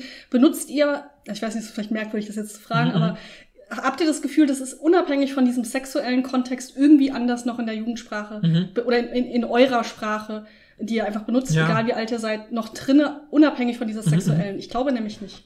noch zu weird, genau. Und wenn Ja, wir zu weird. weird zurückkommen, ist ja das Spannende. Ich habe auch das Gefühl, dass das ja natürlich auch erstmal ein Wort ist, was man typischerweise sich so vorstellt, dass so str strenge, ein strenges Elternhaus sagt der Tochter, die sich irgendwie nicht, wie man es von einer jungen Dame erwartet, anzieht, sagt, deine Kleidung ist weird, zieh dich bitte normal an, ja, und sowas. Das ist klar, wir haben das noch nie gehört. Ja, klar, aber ich meine, so in so, was weiß ich, in so 80er Jahre In den 80ern hat Filmen man schon oder- weird gesagt. Ja, ja, aber natürlich als, als Ab, also als ich wusste nicht, ich wusste gar nicht, dass das so eine, ja, ja, so eine alte Bedeutung hat. Ja, ja, klar. Und dann habe ich das, und dann das, das, damit spielt ja zum Beispiel dieser Musiker Weird Al Yankovic, ich weiß nicht, ob ihr den kennt, ja. ja. Und der da- parodiert ja andere So. Sachen, der wurde ja auch immer wieder als weird bezeichnet und hat das dann eben als Selbstbezeichnung angenommen und gesagt, ja, bin ich halt weird, jetzt lebe leb ich damit und ihr müsst jetzt auch damit leben. Was ist das für ein Throwback? Also erst die perverse Pizza und dann Weird Al Yankovic. Das Ja. ist so eine Zeit. Der, dessen Leben ja lustigerweise jetzt verfilmt wird, gerade mit hier dem Darsteller von Frodo aus Herrn der Ringe in der Hauptrolle. der Elijah spielt Wood? dann, ja genau, Elijah Wood spielt dann Weird Al Yankovic in dem Biopic, was Okay. bald kommt. Vielleicht werden wir ins Kino. Nein, ich glaube nicht, dass wir ins Kino gehen. Ja, ja. Äh, apropos äh, Weird, wo ich das auch, jetzt ist mir gerade eingefallen, ähm, genau, ich habe das Gefühl, ich benutze Weird nur positiv. Eigentlich, weil du ja gesagt hast, du benutzt das besonders, um so Situationen zu beschreiben, Mhm. die du irgendwie als merkwürdig empfunden hast. Ich benutze es fast nur positiv, Mhm. glaube ich. Einmal auf mich bezogen und auf ähm, Popkultur. Weil eine meiner Lieblingsarten von Filmen sind weirde Filme. Mhm, Weirde mhm. Horrorfilme ist mein Mhm, absolutes Lieblings-Subgenre.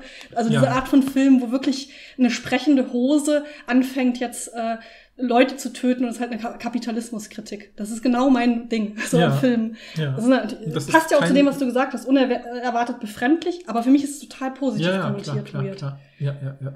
Finde ich ganz interessant. Ja. Ähm, aber finde ich auch interessant. Wollen wir noch, wollen wir drüber reden, ob es einen Unterschied zu Awkward gibt oder wollen wir warten, falls wir es ziehen? Ja, falls, falls wir es ziehen, glaube Okay. ich. Und ich, also das, was du beschreibst, ne, ich kenne das auch zum Beispiel, dass man hat ja in, der, in Bezug auf Twin Peaks, als es rauskam, gibt es noch das Wort quirky. Okay, wäre Ähm, auch gut. Haben wir leider nicht Ja, dabei, ja. aber das wäre auch Aber das ist Wort. auch so ein Wort, was schon damals in den 90ern dann benutzt wurde für so, das hieß dann, glaube ich, quirky Realism. Also es ist quasi Realität, aber es ist ein bisschen quirky, also ein bisschen, ja, verdreht. Irgendwie was stimmt halt nicht. Leute faszinieren sich übertrieben stark für ähm, Kirschkuchen und Kaffee oder irgendwie sowas und das ist halt Mhm. quirky. Das wird ja heute auch völlig positiv benutzt. Ja. Weiß ich nicht, weil es gibt ja diese, diesen Trope von so quirky äh, weiblichen Charakteren in Mhm, so mhm. Serien und Filmen. Und das wird, glaube ich, mittlerweile total äh, Ah, negativ okay. geframed. Interessant, ja, stimmt. Weil das Mhm. diese, du bist schon quirky als Frau, wenn du Bücher liest und ab und zu über deine Füße stolperst. Ja, okay, Und das, das ist halt so ein krasser Trope äh, gewesen der Popkultur ganz ja, oder ja, vielleicht auch okay. immer noch. Aber wir reden nicht über quirky. Mhm. Außer ihr möchtet, dass wir über quirky reden, dann müsst ihr uns diesen Begriff schicken. Denn ihr könnt uns, wir haben so viele Begriffe, aber ihr könnt uns trotzdem immer wieder neue schicken. Ja. Dann wird es tatsächlich zu einer Reihe und wir heben diese, diesen Zettelkasten auf und ich mache auch gerne wieder weitere Zettel Ja. dazu. Bin ich jetzt zwar mit? Ich, äh, glaub ich, du hast weird gezogen. Ja, richtig. Ich weiß nicht, wie viel wir noch schaffen, aber wir haben ja einen auf jeden Fall noch, vielleicht sogar noch zwei. Ja, je nachdem. Crush. Ah, Crush, sehr okay. gut. Ich habe Äh, sofort diesen Song im Kopf, der früher so ein Hit war. Als ich noch ein Teenager war. So, ich, boah, ich weiß nicht mehr, wie die das Sängerin ist Throwback schon. kann- kann Throwback wäre eigentlich auch ein gutes, gutes Wort, ne? Ja, ja, ja. Ähm, Also, Ja. es gibt so ein, das, it's just a little crush. So, das kenn ich so, nicht. na, das ist unser Alter. Da habe ich das erste Mal gelernt und ich dachte irgendwie, was, was soll denn das heißen? Ich konnte da noch kein, nicht gut Englisch und ähm, ich dachte irgendwie, das heißt sowas wie Crash, also Ja, Unfall. und ja. ich dachte, so, okay, hat die einen Unfall oder was? Oh Worum Gott. geht's in diesem Song? Ähm, aber Crush, ja, es ist sowas wie eine lockerere Form der Verliebtheit, ja. Lockere Verliebtheit. Ja, ich dachte gerade, Verliebtheit ohne Konsequenz, ohne dass man selber daraus vielleicht Konsequenzen ziehen will. ich weiß nicht, es besser sagen soll. ja, Also ich habe das Gefühl, das heißt sowas wie, ja, ich könnte ja auch sagen, sowas wie, ich habe einen Crush zu auf, würde man sagen. auf, auf ähm, Emily Blunt oder ja, ja. sowas. Genau, Star Crush. Das Ja, Celebrity genau, genau. Crush. Das Ja, ja, äh, ja, ist ja, eine oft ja, ja, eine. genau. Genau, ich frage mich, äh, ist Crush einfach das Pendant, das, was man jetzt sagt? Und wir haben früher Schwarm gesagt, Mhm. weil früher, als wir noch jung waren, ne, Leute, lasst mir euch gesagt haben, die Pizza, die pervers schmeckt. Und dann dachte ich, ich habe mein Teenie-Schwarm Ja, Nick ist Carter. Aaron Carter. Ich wollte Aaron Aaron Carter. Carter, okay. Süß. Ich weiß gar nicht, ob ich Aaron Carter Fan. Nee, also ich war kein Aaron Carter Fan, aber ich frage mich gerade, ob ich überhaupt die Generation von Aaron Carter von Nick Carter war. Ich weiß hab gar nicht. keine? Ahnung. Ist ja auch völlig egal. Aber Ähm, ja, genau. Aber genau, also ich frage mich einfach, ob das jetzt das Wort ist, was Jugend, jüngere Leute heute für das Mhm, ne- nennen, was wir früher Schwarm genannt haben, oder ob es einen Mhm, Unterschied gibt. Also ich Bin finde ich auch mir die, die. Standardverwendung in den USA ist ja wirklich wie in diesem Song ja auch a little crush, also im Sinne von so, hey, nimm das nicht ernst, bist halt ein bisschen verliebt, du musst dich da jetzt nicht reinsteigern. Also ich habe das Gefühl, es ist sowas wie, Ja, lockere Verliebtheit ohne Ja. Konsequenzen wäre. Ist Ja. ja eigentlich schon eine sehr gute Definition. Ja, ich habe ja. das Gefühl, man könnte aber, ich glaube, man würde auch Crush sagen, wenn man gerade am Daten ist und man hat so dieses erste, man schwärmt für jemanden Mhm, und es kann sich auch zu einer Verliebtheit entwickeln. Also es muss nicht nur dieses, es hat keine Konsequenzen, ich habe jetzt einen Crush auf, Mhm, äh, keine Ahnung. Ryan Gosling, Ja, ist nicht so ganz mein Typ. äh, Ryan Reynolds.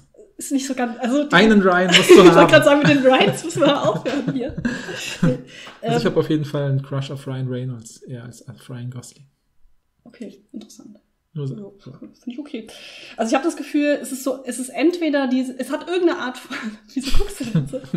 Nix. Es hat irgendeine Art von Distanzmoment, entweder ähm, weil man wirklich so einen Star-Crush hat oder auf jemanden, den man nur übers Internet kennt oder so. Mhm, Also es hat irgendwie diese Distanz oder die Distanz so in der in der zeitlichen Kategorie nach dem Motto, ich Mhm. fange, habe jetzt date gerade eine Person Mhm. und ich würde jetzt nicht sagen, dass ich verliebt bin oder dass ich die Person liebe oder so, das ist noch viel zu früh, sondern wir sind im Anfangsstadium, wir haben Mhm. uns einmal getroffen, das Date lief perfekt, dann sage ich, ich habe einen Crush auf die Person und vielleicht kann es auch Das ist viel zu rational. kann sich auch entwickeln. Ja, Für, für Crush. Ja. Finde ich. Ich habe das ja. Gefühl, für mich wäre es Distanz entweder im räumlichen oder im zeitlichen, dass es ganz am Mhm. Anfang steht von einem Prozess, der möglicherweise sich zu was Näheren entwickelt, vielleicht auch nicht. Ne? Ja, ja, ja, ja. ja. Deshalb, Na gut. äh, deshalb würde ich bei lockere Verliebtheit würde ich auch mitgehen, aber ich, ohne Konsequenzen würde ich nicht sagen, sondern es kann ohne Konsequenzen sein, es kann sich aber auch zu etwas Näherem entwickeln. Mhm, mhm. Ja, ich finde das, ich finde das, äh, ja, ich verstehe, was du beschreibst. Ich hab- finde das Wort halt Crush ist ein total tolles Beispiel auch wieder für so typische Sprachdynamiken, weil es so eine Lücke füllt. Also ich habe das Gefühl, Menschen haben natürlich so, so, das, so, so, so, so einen Drang zur äh, sprachlichen Ökonomie auch. Also dass sie versuchen, Dinge, wenn sie häufiger auftauchen, mit einem Wort festzunageln und zu sagen, das nennen wir jetzt so und so. Ja? Mhm. Äh, Und statt es immer komplex zu beschreiben, und das entwickelt sich ja meistens das nicht aus dem Nichts, sondern man übernimmt es eben aus anderen Sprachen oder so. Ne? Und natürlich kann man auch diese Perspektive aufsetzen, dass man sagt, indem man das Wort lernt, merkt man plötzlich, dass das möglich ist, zum Beispiel konsequenzenlos in jemandem verliebt zu sein, während wir vorher Verliebtheit ähm, vielleicht mit so einem starken Gewicht äh, verbinden, dass man jetzt Mhm. dadurch Konsequenzen eben ziehen muss. Deshalb würden wir ja Schwärmen sagen. Die, die Stufe Ja, ja. vor Verliebtheit haben Ja, wir ja früher genau. als Sch- Schwärmen Ja, vielleicht ist. Schwärmen tatsächlich das nächste. Also würdest du nächste sagen, Ding. Crush und Schwarm ist eigentlich gleichbedeutend, nur dass man heute Nee, das halt nicht. äh, Schwar also ich meine vom Konzept her. Ja, vom Konzept wir vielleicht würden schon. heute nicht mehr Schwa Teenie-Schwarm, würden wir nicht mehr, dann sind wir halt die 40-Jährigen, die über die äh, Kinder reden, die jetzt das erste Mal einen Schwarm haben. Ne? Aber, aber niemand würde wahrscheinlich auf TikTok sagen, ich habe einen Schwarm. Man sagt ja auch nicht, ich habe einen Schwarm. Verstehst Sagt man du? das Das meine ich ja. Das will ich ja gerade. Das finde ich ja so. so Wieso sagt man das denn Das ist ja interessant. Du kannst ja natürlich kann man sagen, ich habe einen Schwarm und das ist Leonardo DiCaprio, aber man sagt ja nicht, wie man auf Englisch sagt, I have a crush. Sowas wie äh, äh, ist nicht das gleiche wie ich habe einen Schwarm. Verstehst du? Also ich nicht? Naja, weil Schwarm im Deutschen schon verbindlicher ist. Kann ich auch zu meiner Nee. Partnerin sagen, das ist mein Schwarm. Nee, nee, wirklich nicht. Also du würdest nie über deine 30 Partner. Nee. Entschuldigung, Doch, du würdest nicht so über ein deine süßes, Partner. altes Pärchen Was? vorstelle, wo Nein. jemand sagt, seit 30 Jahren ist Günther mein Schwarm. Nee, das wäre Oder super so. merkwürdig. Das, das würde niemals Ja, jemand das wäre auch süß. Komm, gib's zu. Vielleicht, aber das würde, es wäre einfach, aber nur weil es witzig sarkastisch ist, nicht Ja, ernst gemeint. okay. Du würdest nie sagen, ernst gemeint sagen, meine Partnerin ist mein Schwarm. Also, Klar. Leute, hilft mir. Würdet ihr sagen, wenn man in einer Beziehung ist, würde man von Schwarm reden, nicht auf einer sarkastischen Art und Weise. Na gut, aber trotzdem finde find ich das Interessante ist, ähm, ähm, X ist mein Schwarm ist, glaube ich, die typische Verwendung, während I have a crush ist ja eher so was Aktives, also was man stärker in den, im Griff hat. Das finde ich irgendwie das Ich habe einen. Schwarm auf, sagt man nicht, ja. Ich Ja, schwärme genau. für, würde man Ja, genau, sagen. genau. Aber ich finde, ich findet ihr nicht, also ich finde, ich würde betonen, das ist das Interessante daran für mich, diese kleine, weil das ist das Interessante. Man könnte jetzt sagen, ist es wirklich eins zu eins gleich Schwarm, Schwärmen, ja? To have a crush on someone, Mhm. Ja, das ist dasselbe wie. Schwärmen. Könnte man sagen, okay, ich kann ein Gleichheitszeichen dazwischen setzen, aber trotzdem hat sich eine bestimmte Anzahl von Menschen in unserer Sprachgemeinschaft entschieden, das Wort Crush zu adaptieren, zu übernehmen und anzupassen für ihre Zwecke. Und ich sehe sofort den Unterschied, nämlich, von, dass man sagt, äh, ich, ich schwärme von oder X ist mein Schwarm, klingt noch so ein bisschen passivisch, so hoffnungslos, man kann nichts machen. Während sobald man sagt, I have a crush on, also ich habe einen Crush auf jemand, klingt das eher so ein bisschen wie, ja mein Gott, habe ich halt, das ist so wie, wie so eine, äh, ja, wie soll ich sagen, wie so, so wie ich habe gerade total Bock, jeden Tag Schokoladeneis zu essen, das geht halt irgendwann vorbei. Das wirkt dadurch ein bisschen lockerer und entspannter, so ein bisschen wie Job und Arbeit halt auch. Ja, Arbeit ist so Be oder noch besser Job und Beruf.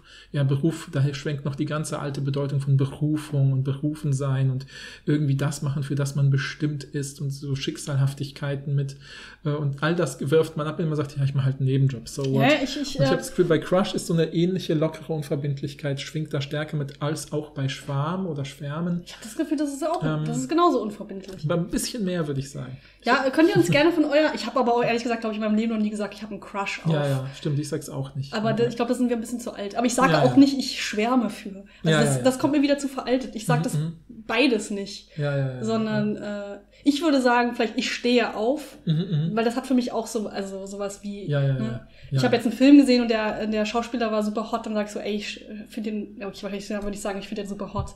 Oder Ja, ich ja, stehe ja, auf ja. den oder Ja, so. ja, ja, ja. Was auch unverbindlich ist und ich würde keine Konsequenzen daraus ziehen. Ich würde jetzt Ja, keinen ja. Fa Fanbrief schreiben. Ja, ja, ja, ja.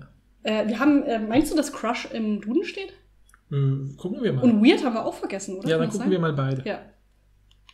Okay, also beide Begriffe sind nicht im Duden. Also was ja interessant ist, was zeigt, dass sie noch wahrscheinlich noch eine Zeit brauchen, um anzukommen. Weird hat mich überrascht. Weird hätte ich doch, doch gedacht, dass Hm. es im Duden ist. Crush würde ich jetzt, hätte ich auch nicht gedacht. Aber, Aber oft nimmt der Duden auch, es hängt nicht, nicht nur davon ab, wie lange die Begriffe im Deutschen sind, sondern auch, ob sie im Deutschen eine eigene Bedeutung entwickeln. So, Mhm. ne? Und das ist ja auch inter interessant, weil man bei Crush sagen würde, bringt es wirklich was, äh, es auch in den deutschen Duden aufzunehmen, wenn man im Englischen nicht fast die gleiche Bedeutung hat. Das würde ich bei Crush schon sehen. Achso, soll ich mal Schwaben nachgucken das- eigentlich? Nein, aber es ist halt auch ein bisschen inkonsequent, diese, dieses Kriterium, weil solche Begriffe wie Fair oder Training stehen halt auch im Duden, aber die wiederum halt, weil sie schon so lange im Deutschen sind, ja, die sind ja schon in den 20er Jahren reingekommen, also in den 1920er Jahren äh, in die deutsche Sprache, weil man da halt sich zum ersten Mal für amerikanischen Sport begeistert hat durch Radio, Funkübertragungen oder so, weil Boxen bekannt, wichtig geworden ist und ähnliches mehr. Ähm, naja, aber ähm, deswegen, also vielleicht ist das auch der Grund, dass dieser Begriff nicht ist, wo man denkt, ja, mein Gott, die, die Person, die im, in der Oxford Enzyklopädia oder wo auch immer nachguckt, wird die richtige Bedeutung bekommen. Ja. Es hat im Deutschen noch nicht genug Eigenleben entwickelt. Ne? Ja. Also dann sagt uns gerne, äh, ne, immer gerne Bescheid, was eure Intuition ist. Auch gerne in der Kontroverse äh, Quash versus Schwarm. Dann nächster Begriff. Ja. Ich ziehe, oder? Weiß ich nicht, ich kann mach einfach. Ich nehme jetzt Bringt jetzt auch nicht so viel für mich. Letzter Begriff wahrscheinlich sogar, ne? Ja. Oder? Oh, Wokeness oder to be woke. Ah ja, Woke war auch zweimal dabei. Das Ah, heißt, das okay, könnten okay. wir nachher auch noch äh, wieder raussuchen. Das haben zwei Leute uns geschickt. Ja. Ah, wir haben da sogar eine Nachricht zugekriegt, ne? Mhm, mhm. Zu, weißt du noch, was da drin steht? Wollen wir schnell nachgucken? Ja, ich weiß, kann mich noch erinnern. Ich glaube, der, der Hinweis war halt natürlich, dass, äh, dass das Interessante an dem Begriff halt ist, dass er sowohl positiv als auch stark negativ verwendet ja, wird. Ne? ja, ja. Und das finde ich halt total, äh, das fand ich auch witzig, weil äh, äh, diejenige, die uns das geschickt hat, Grüße gehen Haus, sie weiß, dass sie gemeint ist. Also zwei ähm, Leute haben es da geschickt, aber eine Person hat noch eine Nachricht. Genau, genau. Ähm, äh, meinte so, ich weiß nicht, ob man das, ob das gut ist für euch, weil der Begriff ja so ne, sowohl positiv als auch negativ besetzt ist. Und habe ich geschrieben, nee, das ist gerade gut, weil das, das kann man der Linguistik gut erklären.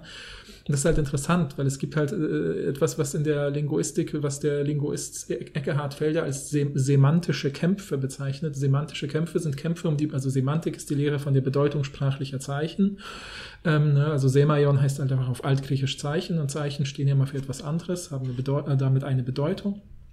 Ähm, und semantische Kämpfe passieren immer dann typischerweise, wenn ähm, einer Gruppe von Menschen in einer Sprach, größeren Sprachgemeinschaft vielleicht, sage ich mal, ein Konflikt oder ein Problem auffällt und sie benennen den und geben dem ein Wort und sagen dann zum Beispiel nur sowas wie, äh, was weiß ich, Nachhaltigkeit, ein Begriff, der ganz lange ganz stark umkämpft war äh, und von den Grünen, also so von der Bewegung, aus der die Grünen hervorgegangen sind, in die Diskussion, in die Debatte, in die politische Debatte eingebracht worden sind.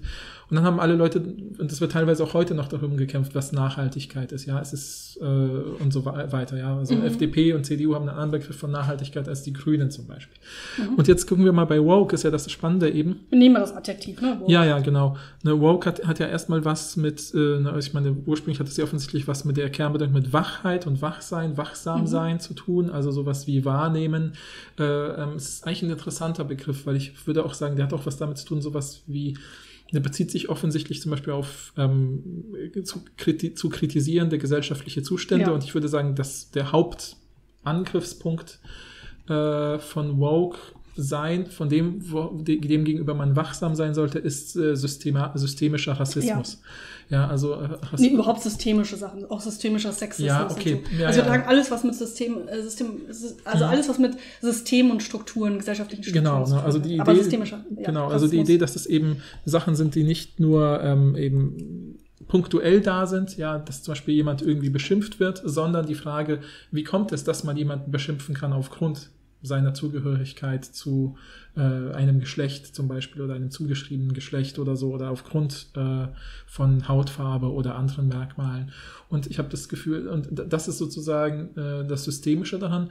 Und jetzt gibt es sozusagen, das ist halt das Interessante, ähm, ich kenne halt positive Ausdrucksweisen von Woke, ja, zum Beispiel, ähm, wie heißt der Künstler, äh, dieser Rap-Künstler, ähm, Childish Gambino, Hm. hat ja so einen Song, wo im Refrain eben immer wieder gesagt wird, stay woke, ja, also so, so was wie, sei, bleib wach, bleib wachsam für, für diese strukturelle Unterdrückung in gewisser Weise, äh, auch als Appell an andere äh, Persons of Color, Mhm. ähm, auf der anderen Seite wird halt dieses, dieses Wokeness als Negativbegriff, als stigmatisierter Begriff, ist eine typische Strategie, die dann, oder eine typische gesellschaftliche Bewegung, die dann passiert, dass Leute, die sich von dieser neuen Perspektive, die durch dieses Wort greifbar wird, angegriffen fühlen, versuchen es zu entwerten. Das ist dann Teil dieses semantischen Kampfes. Man nimmt den Begriff und macht ihn kaputt und versucht zu sagen, damit geht auch XYZ einher und dann macht man ihn zu einem Stigma-Wort. Also Stigma-Wörter sind sozusagen Wörter, die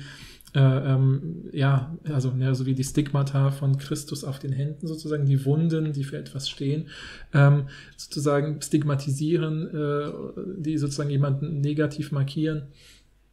Ähm, das ist sozusagen, äh, ähm, man versucht diesem Begriff so eine negative Bedeutung, wie soll ich sagen, äh, hineinzuschieben, ja, also was weiß ich. Um sich ähm, selbst auch davon ja, abzugrenzen, genau. das ist ja dann auch oft das Ding, ne? Ich bin absichtlich anti-woke oder Ja, so. genau, genau, Und ähm, sag jetzt irgendwelche Wörter, die ich angeblich nicht mehr sagen darf. Früher durfte ich Ja, das auch genau, noch genau. sagen. Und- Diese Woke-Culture und so. Ja, oder das, was eben die Grünen, als sie angefangen haben, Politik zu machen, äh, unter Nachhaltigkeit verstanden, wurde dann oft von anderen als Umweltterror äh, beze bezeichnet. Ne? Das ist auch ein, also weil Terror schon ein etablierter Stigma-Begriff ist, weil alles, was man mit Terror beschreibt, ist ja negativ und muss vermieden werden. Ja? Mhm.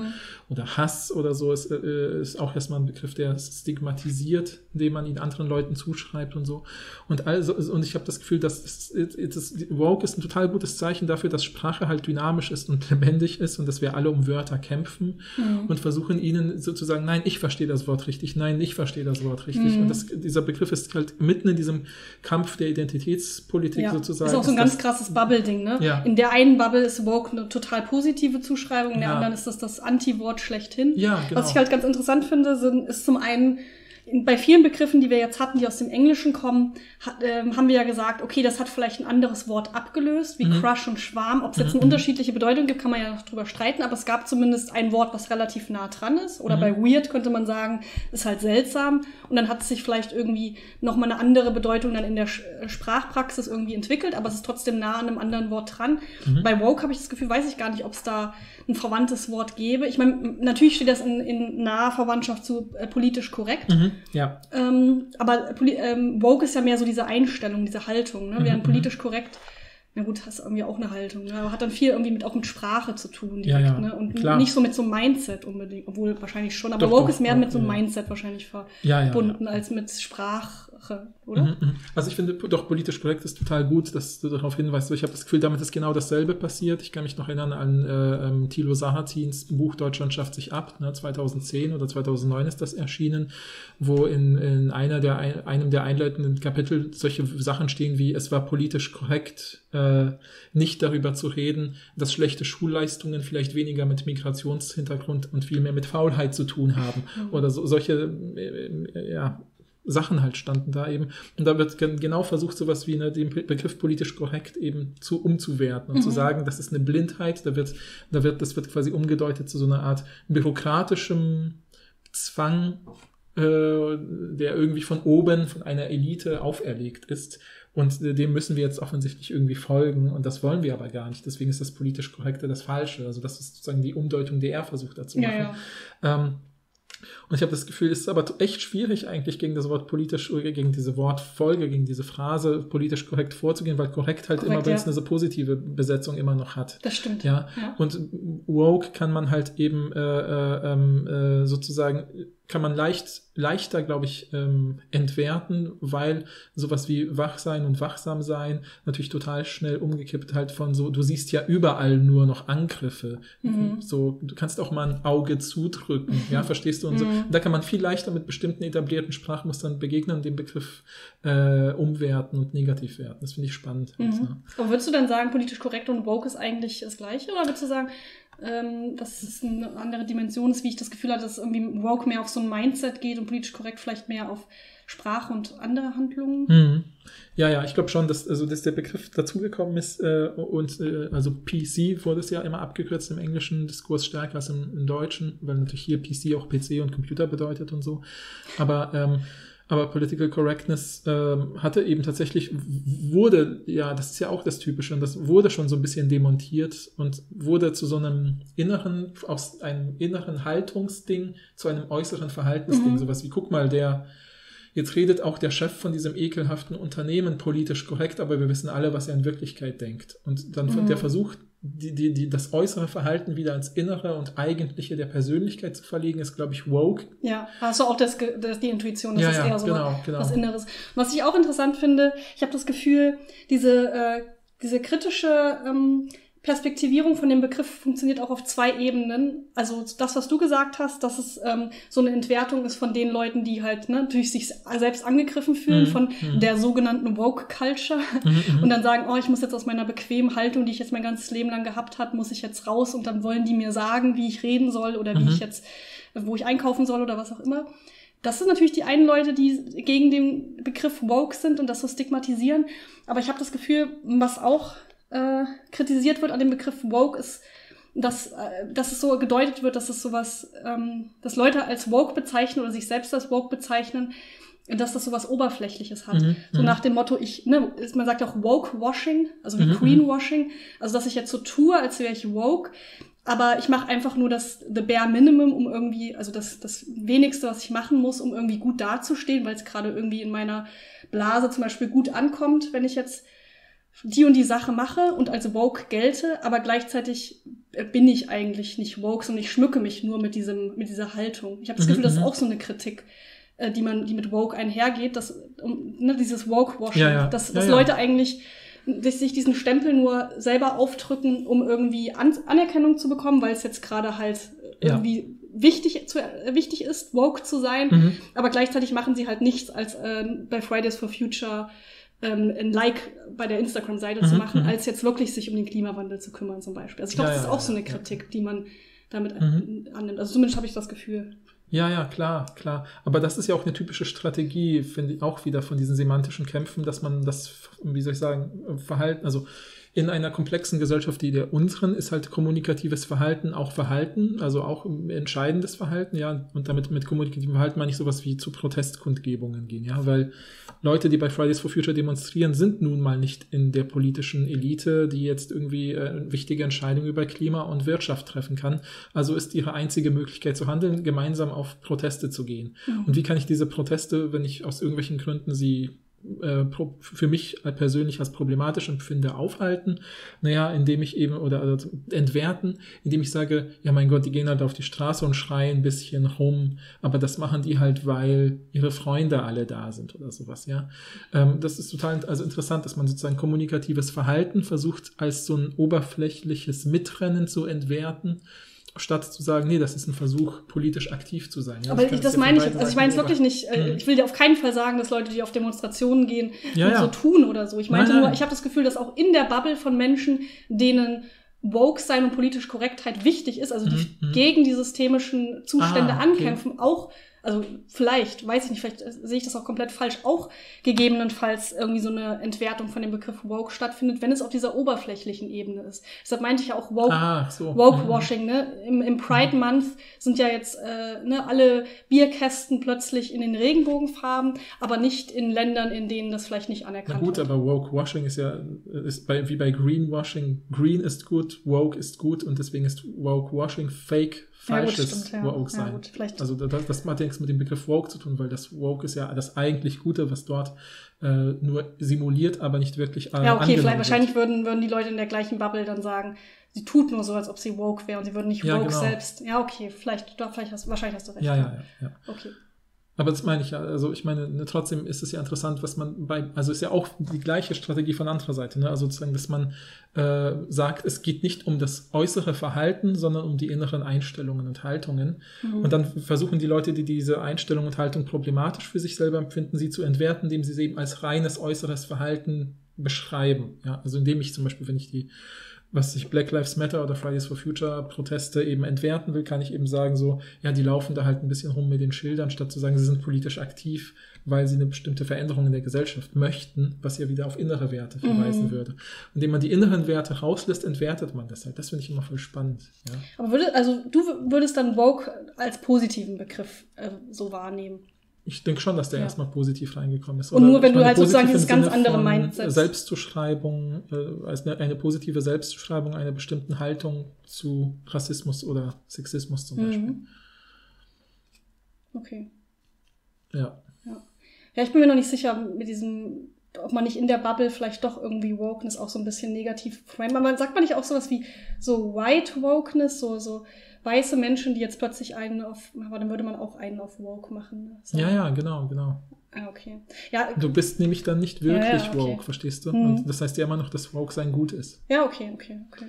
Äh, wir, eine kurze Side Note, wir gehen ja jetzt rein von unserem Sprachgefühl aus und gucken uns mhm. jetzt nicht zum Beispiel die, äh, die Geschichte von Woke an, was ja, ja auch interessant ist, aber ich glaube, da kennen wir uns beide viel zu wenig aus, aber das ist ja auch oft ein, eine Sache, die dann passiert, dass es in bestimmten dass der Begriff aus bestimmten Communities äh, zum Beispiel hervorkommt und dann aber von allen, von, von anderen Communities aufgenommen wird und vielleicht in eine ganz andere Richtung gekehrt wird und so weiter. Er wird automatisch in eine neue, neue Richtung gekehrt. Und für sich von anderen, von, von anderen wird, ja. Gruppen dann für, für sich eingenommen wird und dann sich losgelöst wird von dieser ursprünglichen Bedeutung. Mhm, mhm, aber da müssten wir viel zu sehr recherchieren, um uns das nochmal ganz genau anzugucken, denke ich. Ja, Also interessant ist, das Woke ähm, Ja, ich wollte wollt mal, ja genau, also im Duden steht noch nichts, aber ich weiß, es gibt halt ähm, das äh, digitale Wörterbuch der deutschen Sprache. Das ist so ein relativ neues ähm, Wörterbuchprojekt, was wirklich versucht, die deutsche Sprache live und digital immer weiterzuentwickeln. Das ist auch ein total toll, weil man kann da zum Beispiel einfach eine Mail hinschreiben und sagen, ähm, könnten Sie bitte dieses Wort definieren, weil es entsteht gerade. Das ist ein Projekt, was auf über 20 Jahre angelegt ist und versucht wirklich die deutsche Sprache in der Gegenwart komplett zu erfassen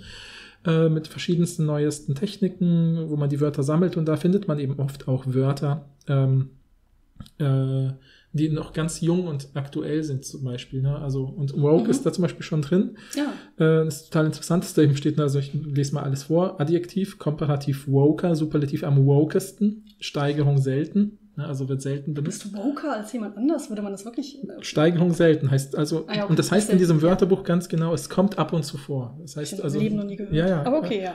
ja, die Du kennen halt woker alle möglichen ja. Social Media Outlets und Nee, ich will das auch nicht absprechen. Ich wollte nur sagen, ich habe es noch nie gehört. Ja, ja, deswegen steht er auch selten. Und Mhm. dann eine Aussprache woke, klar. Äh, Herkunft aus woke, Englisch erwacht, wach, zu to wake, erwacht.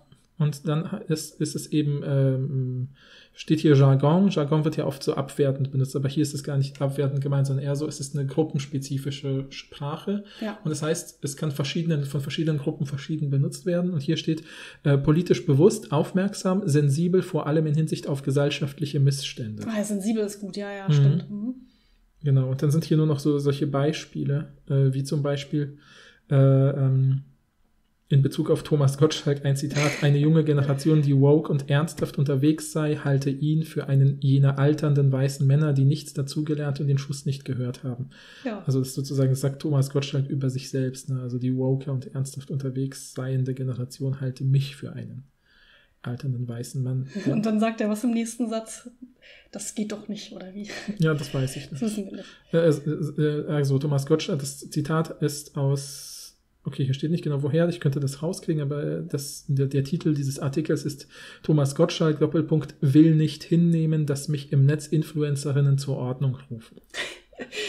Ach, Thomas Gottschalk. Egal, das ist ein neues Thema hier. Wir reden nicht über Thomas Gottschalk. Mhm.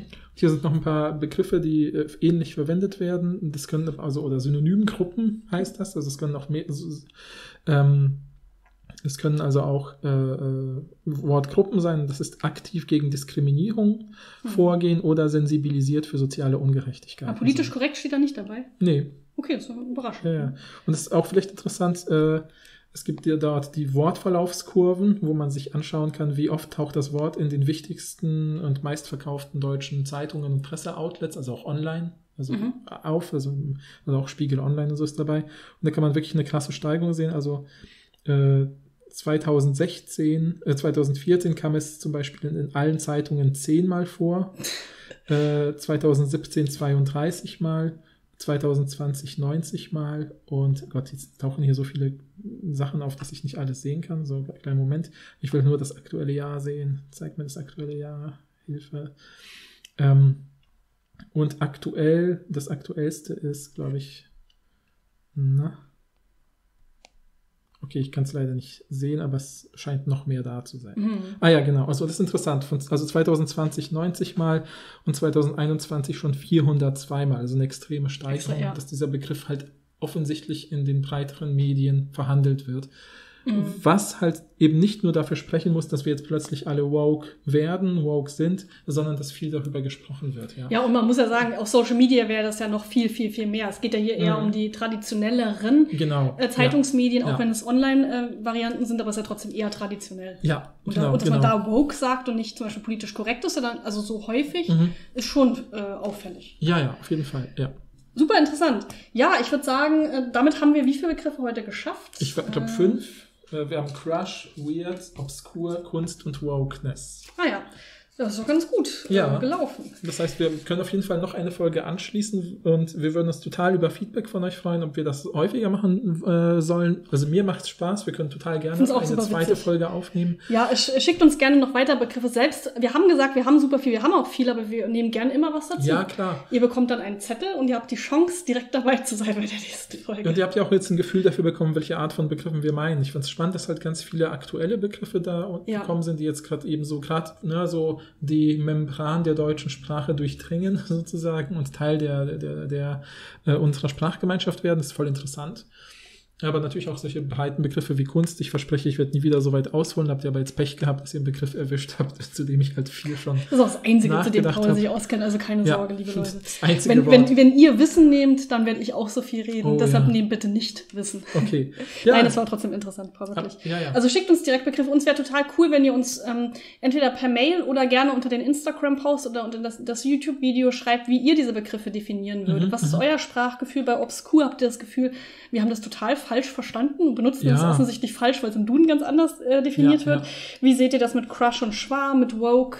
Ähm, wie nehmt ihr das wahr mit der, mit der Umdeutung oder Mhm. mit, der, mit der Kritik? Mit, dem, mit der Stigmatisierung. Mhm. Schreibt uns da gerne und wir machen da gerne noch mehr Folgen, weil das, ich finde das super spannend irgendwie. Ja, und vielleicht eine letzte Frage, wirklich um mich als Linguisten zu beruhigen. Also findet ihr das okay, dass wir uns nicht die Definition vorher anschauen und von ihr ausgehend über die Begriffe sprechen? Weil ich finde, äh, ne, ich hätte natürlich gerne vorher schon gesehen, gibt es dazu eine, eine Interpretation oder nicht? Ach, das Äh, würde mich total krass primen, wenn ich das schon vorher ich frage ja auch nicht dich, ich kenne ja Okay, deine Position, sorry. du musst sie nicht nochmal sagen. Aber bei, ich möchte nur kurz sagen, bei Obscur hätte, hätten, wir hätte uns das total krass in so eine Richtung gebracht, weil wir dann direkt von obskuren Ja. Gestalten und so geredet hätten. Auch das ist mir klar, dass du das sagst. Ich, ich frage ja auch nicht dich, ich frage unsere HörerInnen, Okay. ob sie uns bitte sagen können, sollen wir lieber vorher in ein Wörterbuch gucken oder nicht? Oder soll vielleicht nur ich in das Wörterbuch vorher gucken und äh, Rebecca nicht oder so, damit es ein bisschen anders ist? Also Okay. irgendeine Lösung. Für, also wenn ihr dazu Ideen habt, schreibt uns gerne. Also lieber spontan, lieber vorbereitet oder lieber halb vorbereitet. Was bedeutet, dass nur eine Hälfte von uns sich vorbereitet? Das finde ich gut. Okay. Ja, alles klar. Dann hoffe ich, eure, äh, eure Folge, dann hoffe ich, diese Folge hat euch Spaß gemacht und eure Begriffe äh, sind vielleicht ein bisschen euch klarer geworden. Wenn nicht, schickt uns Feedback. Ich als Sprachforscher freue mich natürlich, wenn ihr sagt, nein, das, da fehlt noch eine Dimension. Ja. Äh, ist immer ein Gewinn. Äh, und wenn ihr völlig zufrieden damit seid, auch interessant. Ja, genau. Und dann wünschen wir euch noch einen schönen Tag. Ciao. Tschüss.